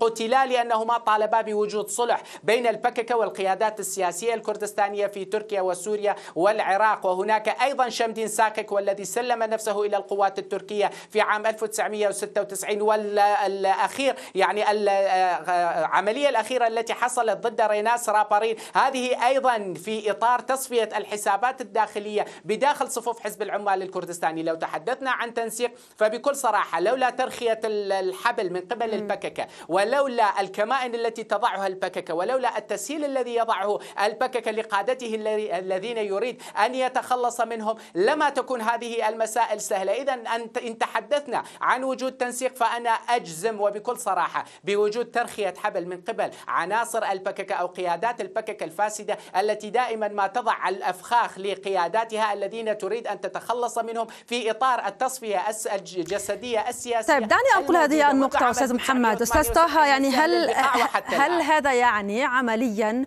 وجود تنسيق أيضا بين أنقرة وبين هذه القيادات من البككي والتي يصفها آه، ضيفنا من آه، أستاذ محمد زنكه بالفاسدة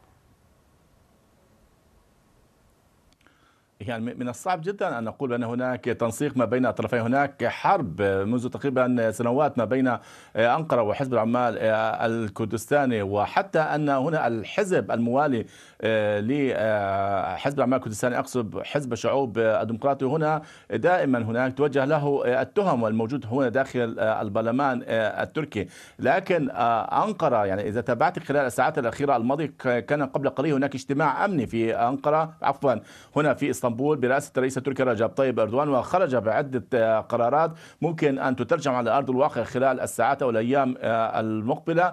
وخاصة أن الطائرات والغارات التركية لم تتوقف حتى هذه اللحظة. الدفاع التركي أعلنت عن استهداف 57 هدفا في شمال العراق وسوريا. ولكن هناك نقطة لافتة للغاية. الحكومة التركية والرئاسة وحتى الدفاع التركية لم تتهم أي جهة. قبل ساعات من الآن كانت هناك إحدى الصحف المقربة من الحكومة وهي صحيفة حريات أكبر الصحف التركية م. تحدثت وقالت بأن واشنطن اتهمت واشنطن بأنها تقوم بتزويد حزب العمال الكردستاني بالأسلحة والذخيرة ووصلت إليها خلال الفترة الأخيرة الماضية وأشارت أيضا بأن هناك جهات أخرى ويبدو أنها تقصد هنا إسرائيل. اللافت أيضا وفي هذه النقطة وهذه التطورات التي حصلت خلال اليوم الساعات الأخيرة الماضية هي جاءت بعد هناك زيارة مهمة قام بها وزير الخارجيه الأمريكي بلينكن إلى المنطقة والتي كان بدأها كما تتذكرين إلى العاصمة التركية هنا في إسطنبول. وكان بالإضافة إلى موضوع غزة وبعض التفاهمات كانت هناك خلافات تركية أمريكية فيما يتعلق بموضوع عدوية السويد والناتو وموضوع أيضا نعم. الأكراد في سوريا يمكن أن نربط هذه المواضيع في سياقين. السياق الأول وهو الموضوع المتعلق بالتوتر التركي الأمريكي الذي دائما هو حالة من الشد والجذب. وأيضا هناك سياق آخر يجب أن نتوقف عنده وهو المتعلق بالتقارب التركي العراقي. قبل شهر من الآن كان هناك زيارة لوزير الخارجية العراقي وحسب التسريبات والمعلومات التي سربت بأن هناك اتفاق على تنسيق تركي عراقي فيما يتعلق بمحاربة حزب العمال الكردستاني وأيضا قبلها بفترة كانت هناك زيارة لحكام فيدان إلى العراق لذا ممكن أن تجتمع كل هذه العوامل في بوتقة واحدة وتشير نعم. إلى أن هذا التصعيد الذي أشرت لك قبل قليل وهو عندما توفر محور واشنطن وجاءت بهذه النقطة التي نراها حاليا ما بين الأكراد والجيش شكرا التركي. جزيلا لك الكاتب والمحلل السياسي طه عودي أوغلو كنت معنا من إسطنبول كما أشكر أيضا. عضو الحزب الديمقراطي الكردستاني محمد زنكنا حدثنا من إربيل. شكرا لكما.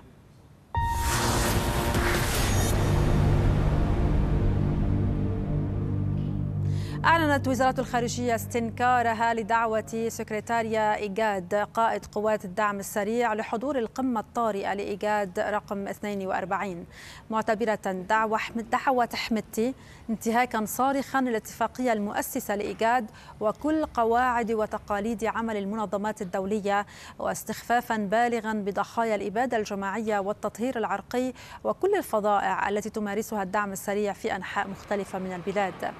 واعتبرت الخارجية أن هذه الدعوة لن تؤدي فقط إلى تدمير مصداقية إيجاد كمنظمة إقليمية لأنها لا تحترم وثائقها ونظمها الأساسية وتعمل على تقويض سيادة الدول الأعضاء وإنما تمثل أيضا رعاية للإرهاب والإبادة الجماعية.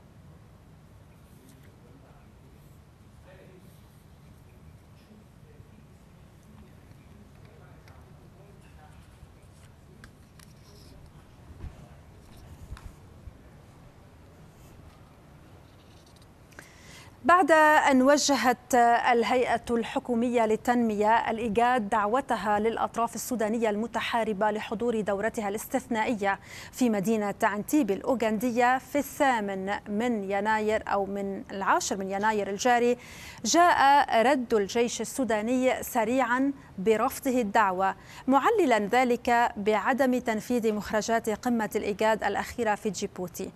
الجيش السوداني اتهم في بيان له قائد قوات الدعم السريع محمد حمدان دقلو بالتهرب من تنفيذ مخرجات قمة جيبوتي والتي كان أبرزها لقاء قائد الجيش عبد الفتاح البرهان في الثامن والعشرين من ديسمبر المنصرم.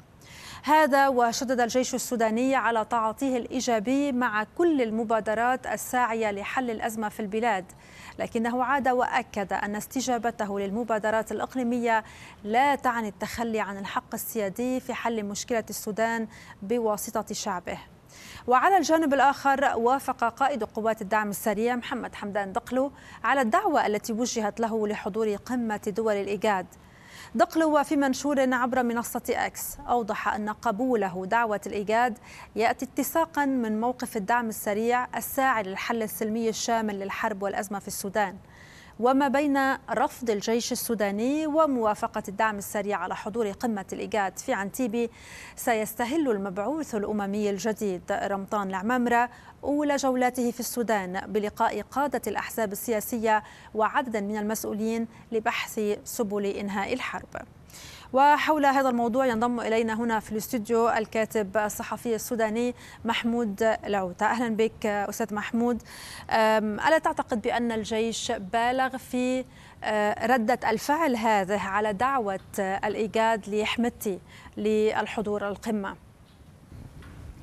طيب بسم الله الرحمن الرحيم وأشكركم على الاستضافة وتحياتي لمشاهدي قناة الحدث. هو طبعا اليوم يعني لو لاحظت إنه وزارة الخارجية ومجلس السيادة والجيش السوداني أصدروا ثلاثة بيانات متلاحقة مما يودي إنه الموضوع يعني مزعج بالنسبة لهم يعني.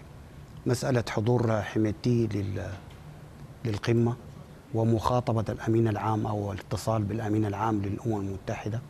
وفي نفس الوقت رفض برهان لحضور هذه القمة.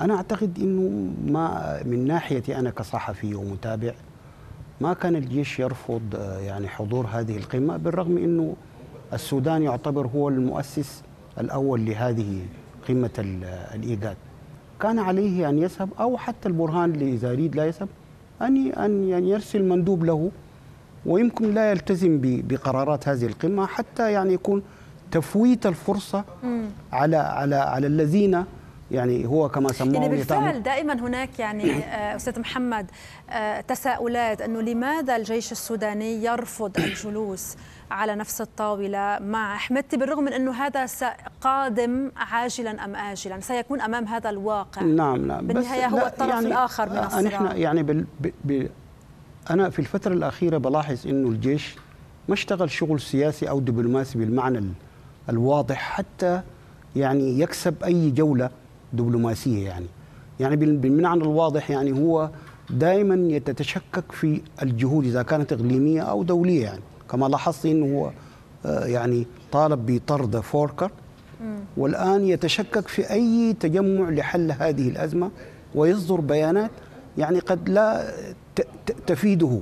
ولكن طبعا يا أختي نحن يعني بالرغم من المبررات اللي هو ذكروها يمكن قد تكون منطقية للشعب السوداني.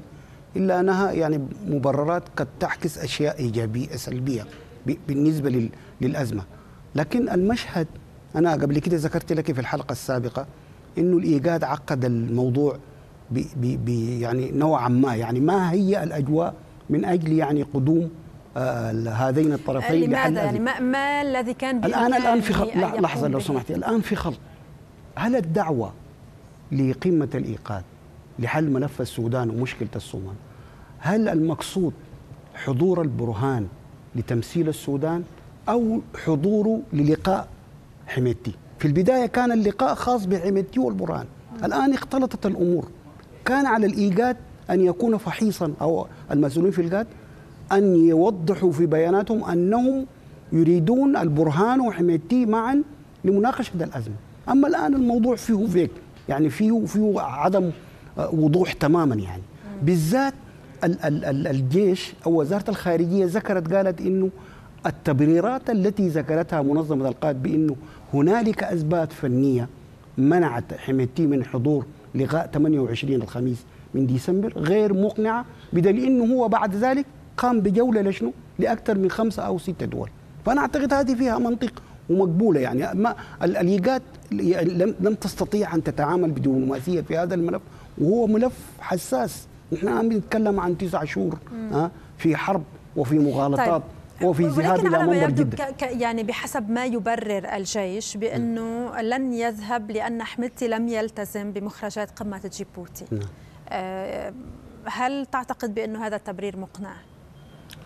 هو أنا زي ما ذكرت لك يعني عدم حضور البرهان لهذه القمة إذا كانت المبررات منطقية. ما الآن في في بعض المؤيدين للجيش أنا وأنا قبل أدخل هذا الاستوديو في مواقع التواصل الاجتماعي يؤيدون هذه القرارات ويقولون هذه القرارات يعني يمكن نسبة كبيرة إن هذه القرارات و- وحفظت كرامة الشعب السوداني. على عكس هنالك يعني ضد الجيش يعني فرحون بأنه يعني حميتي ذهب إلى هذه لبى هذه الدعوة. وأنا أعتقد بالنسبة لحميتي مكسب لأنه يريد أي فسحة أو أي مساحة خارجية حتى يبين لل- لل- للعالم الإقليمي أو الدولي بأنه هو جاد في مسألة شنو؟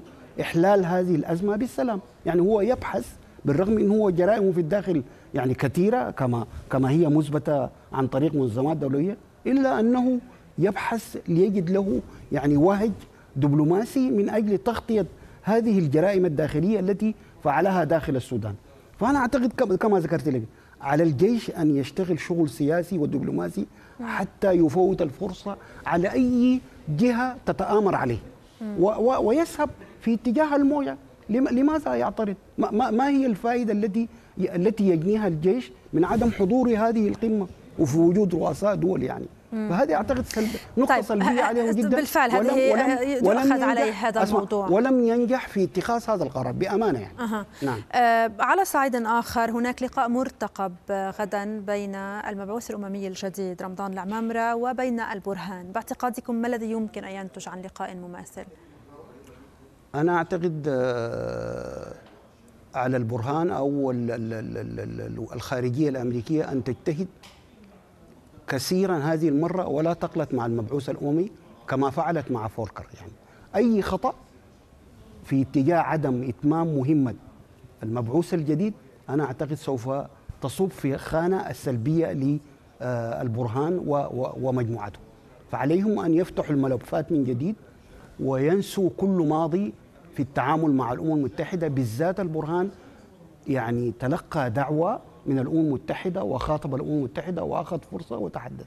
فعليه أن يبدأ مرحلة جديدة من التفاوض مع الأمم المتحدة لحل هذه المشكلة. أنا أعتقد أول نقطة مهمة جدا أن يبدأ بها البرهان أن يعيد مكاتب الأمم المتحدة والموظفين آه، ويسرع في تقديم كل تسهيلات من أجل عمل الأمم المتحدة داخل السودان. أم أم أما أي تعقيدات أو أي أشياء أخرى تعيق من مهمة المبعوث الأممي أنا أعتقد هذه سوف يعني تؤثر آه، يعني طيب هنا مستقبل- صحيح وهناك البعض يعني يعتبر كان ضيفنا في الساعة الماضية قال بأنه آه، على المبعوث الأممي آه، أن يجتهد لإعادة كسب ثقة السودانيين وتحديدا ثقة الجيش. هل تعتقد بأن هذه المقاربة صحيحة؟ لا ما ما صحيحة. أنا أنا ضد هذا ال- الرأي.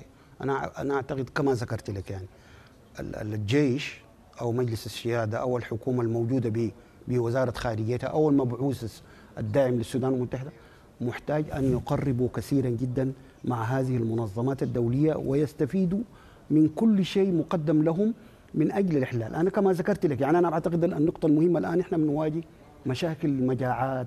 مشاكل امراض، فعلى على على على حكومة السودان أن تجتهد أن تفتح الطرق والقنوات كاملة لدخول ال- البعثات الأممية من أجل أداء عملها، حتى ننطلق من المناطق التي يعني شنو؟ الآمنة التي فيها حرب، الآن المناطق الآمنة فيها مشاكل كبيرة غازية، فيها عدم وجود يعني مستشفيات خدمات آه، مم. علاجية، في أشياء كثيرة جدا يعني مفقودة، فبالتالي أنا أعتقد حتى عليهم أن يبدوا من هذه المنطقة، فليتركوا المناطق التي فيها حرب.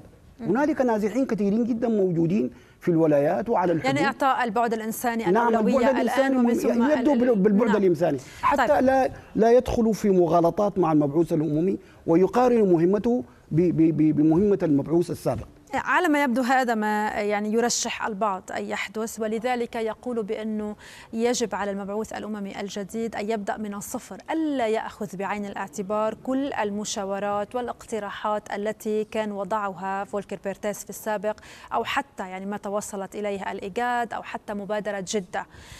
هل تعتقد بأنه يجب عليه أن يأخذ بعين الاعتبار كل ذلك وينسق مع كل آه هذه الجهات التي حاولت إيجاد حل الأزمة السودانية أم بالعكس يجب أن ينطلق فعلا من ورقة بيضاء لأن كما يقال يعني كثرة الطباخين تفسد الطبخه أنا أعتقد هذا كلام عشوائي. يعني.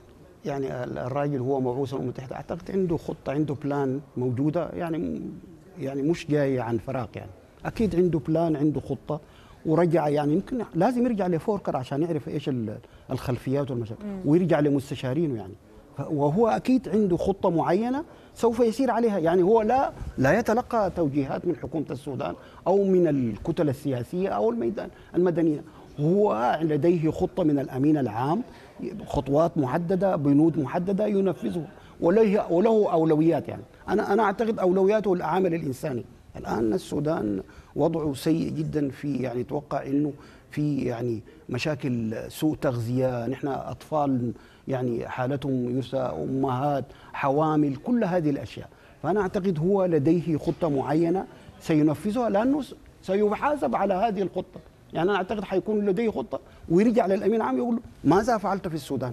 فيقول له فعلت كذا وكذا. لكن أعتقد قد يستشير أو يستنير ببعض الآراء ممكن أن يأخذ بها ممكن لا يأخذ بها حتى لا يفشل شنو؟ في مهم في مهمته. ولا ننسى يا أختي كريستين أن هذا المبعوث هو عربي وقريب ويعرف تماما ماذا يحدث في السودان ولديه يعني بعض المعاونين الموجودين في أكيد سوف يرجع لهم لمناقشتهم. أنا أعتقد هو الآن جلوس اليوم في الكتلة الديمقراطية هنا هو مسألة بتاع التنوير ويتعرف يعني حتى يجد مداخل لبداية شنو مهمته التي تعتبر طبعا صعبة. شكرا جزيلا لك الكاتب الصحفي السوداني محمود العوتا كنت معنا هنا في الاستوديو شكرا لك. شكرا جزيلا.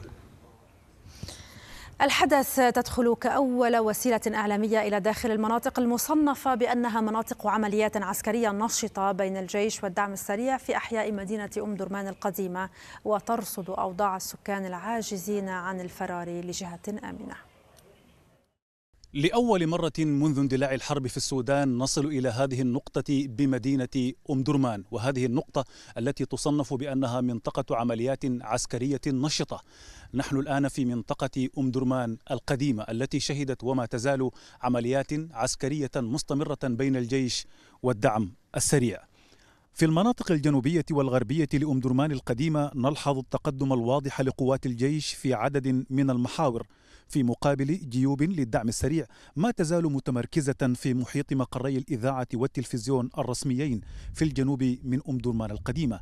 العربية والحدث داخل حي العمدة بمدينة أم درمان. هذه المنطقة شهدت عمليات عسكرية مختلفة بين الجيش والدعم السريع.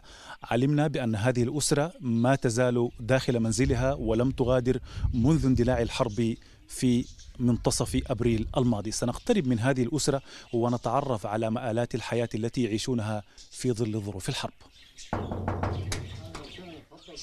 السلام عليكم. كيف الحال؟ تسلم. يبارك فيك. كانوا لنا اثنين دعامة قاعدين بالمنازل بيعتبروا في الشارع هنا. خدت لنا سلاح كده. شالوا موتر. شالوا اثنين مواتر شالوا شاشة. شالوا قروش. الجيش الحمد لله. الجيش ده طالما جانا إحنا خشينا في امن وامان وناس اخواننا وبعملونا كويس. لما نكون داير حاجة بمشي معاهم بمشي معاهم بركب معاهم العربية بمشي السوق. أمي ما ماتت ما لقينا حتة ندفنها منعونا. قمنا دفناها هنا عند الجيران. ما تطلع أنا أخوي ده نمشي نعبي الموية يرفع علينا السلاح. نحن الرصاص أنا واخوي الرصاصة جات تحت رجلنا أنا وأخوي ده نبيل ده. طبعا عندما حدثت وفاة والدة رب الأسرة نبيل آه، لم يتمكن من دفنها في المكان المخصص لدفن الموتى مما اضطره إلى أن يدفن والدته آه، ليس في المقابر المخصصة وإنما في منزل الجيران. الآن سندخل مباشرة لنتعرف على المنطقة التي آه، دفنت فيها والدة نبيل جراء هذه الظروف المعقدة لم يتمكن من دفنها في المكان اللائق. واضطر فقط أن يدفن والدته في هذا المنزل.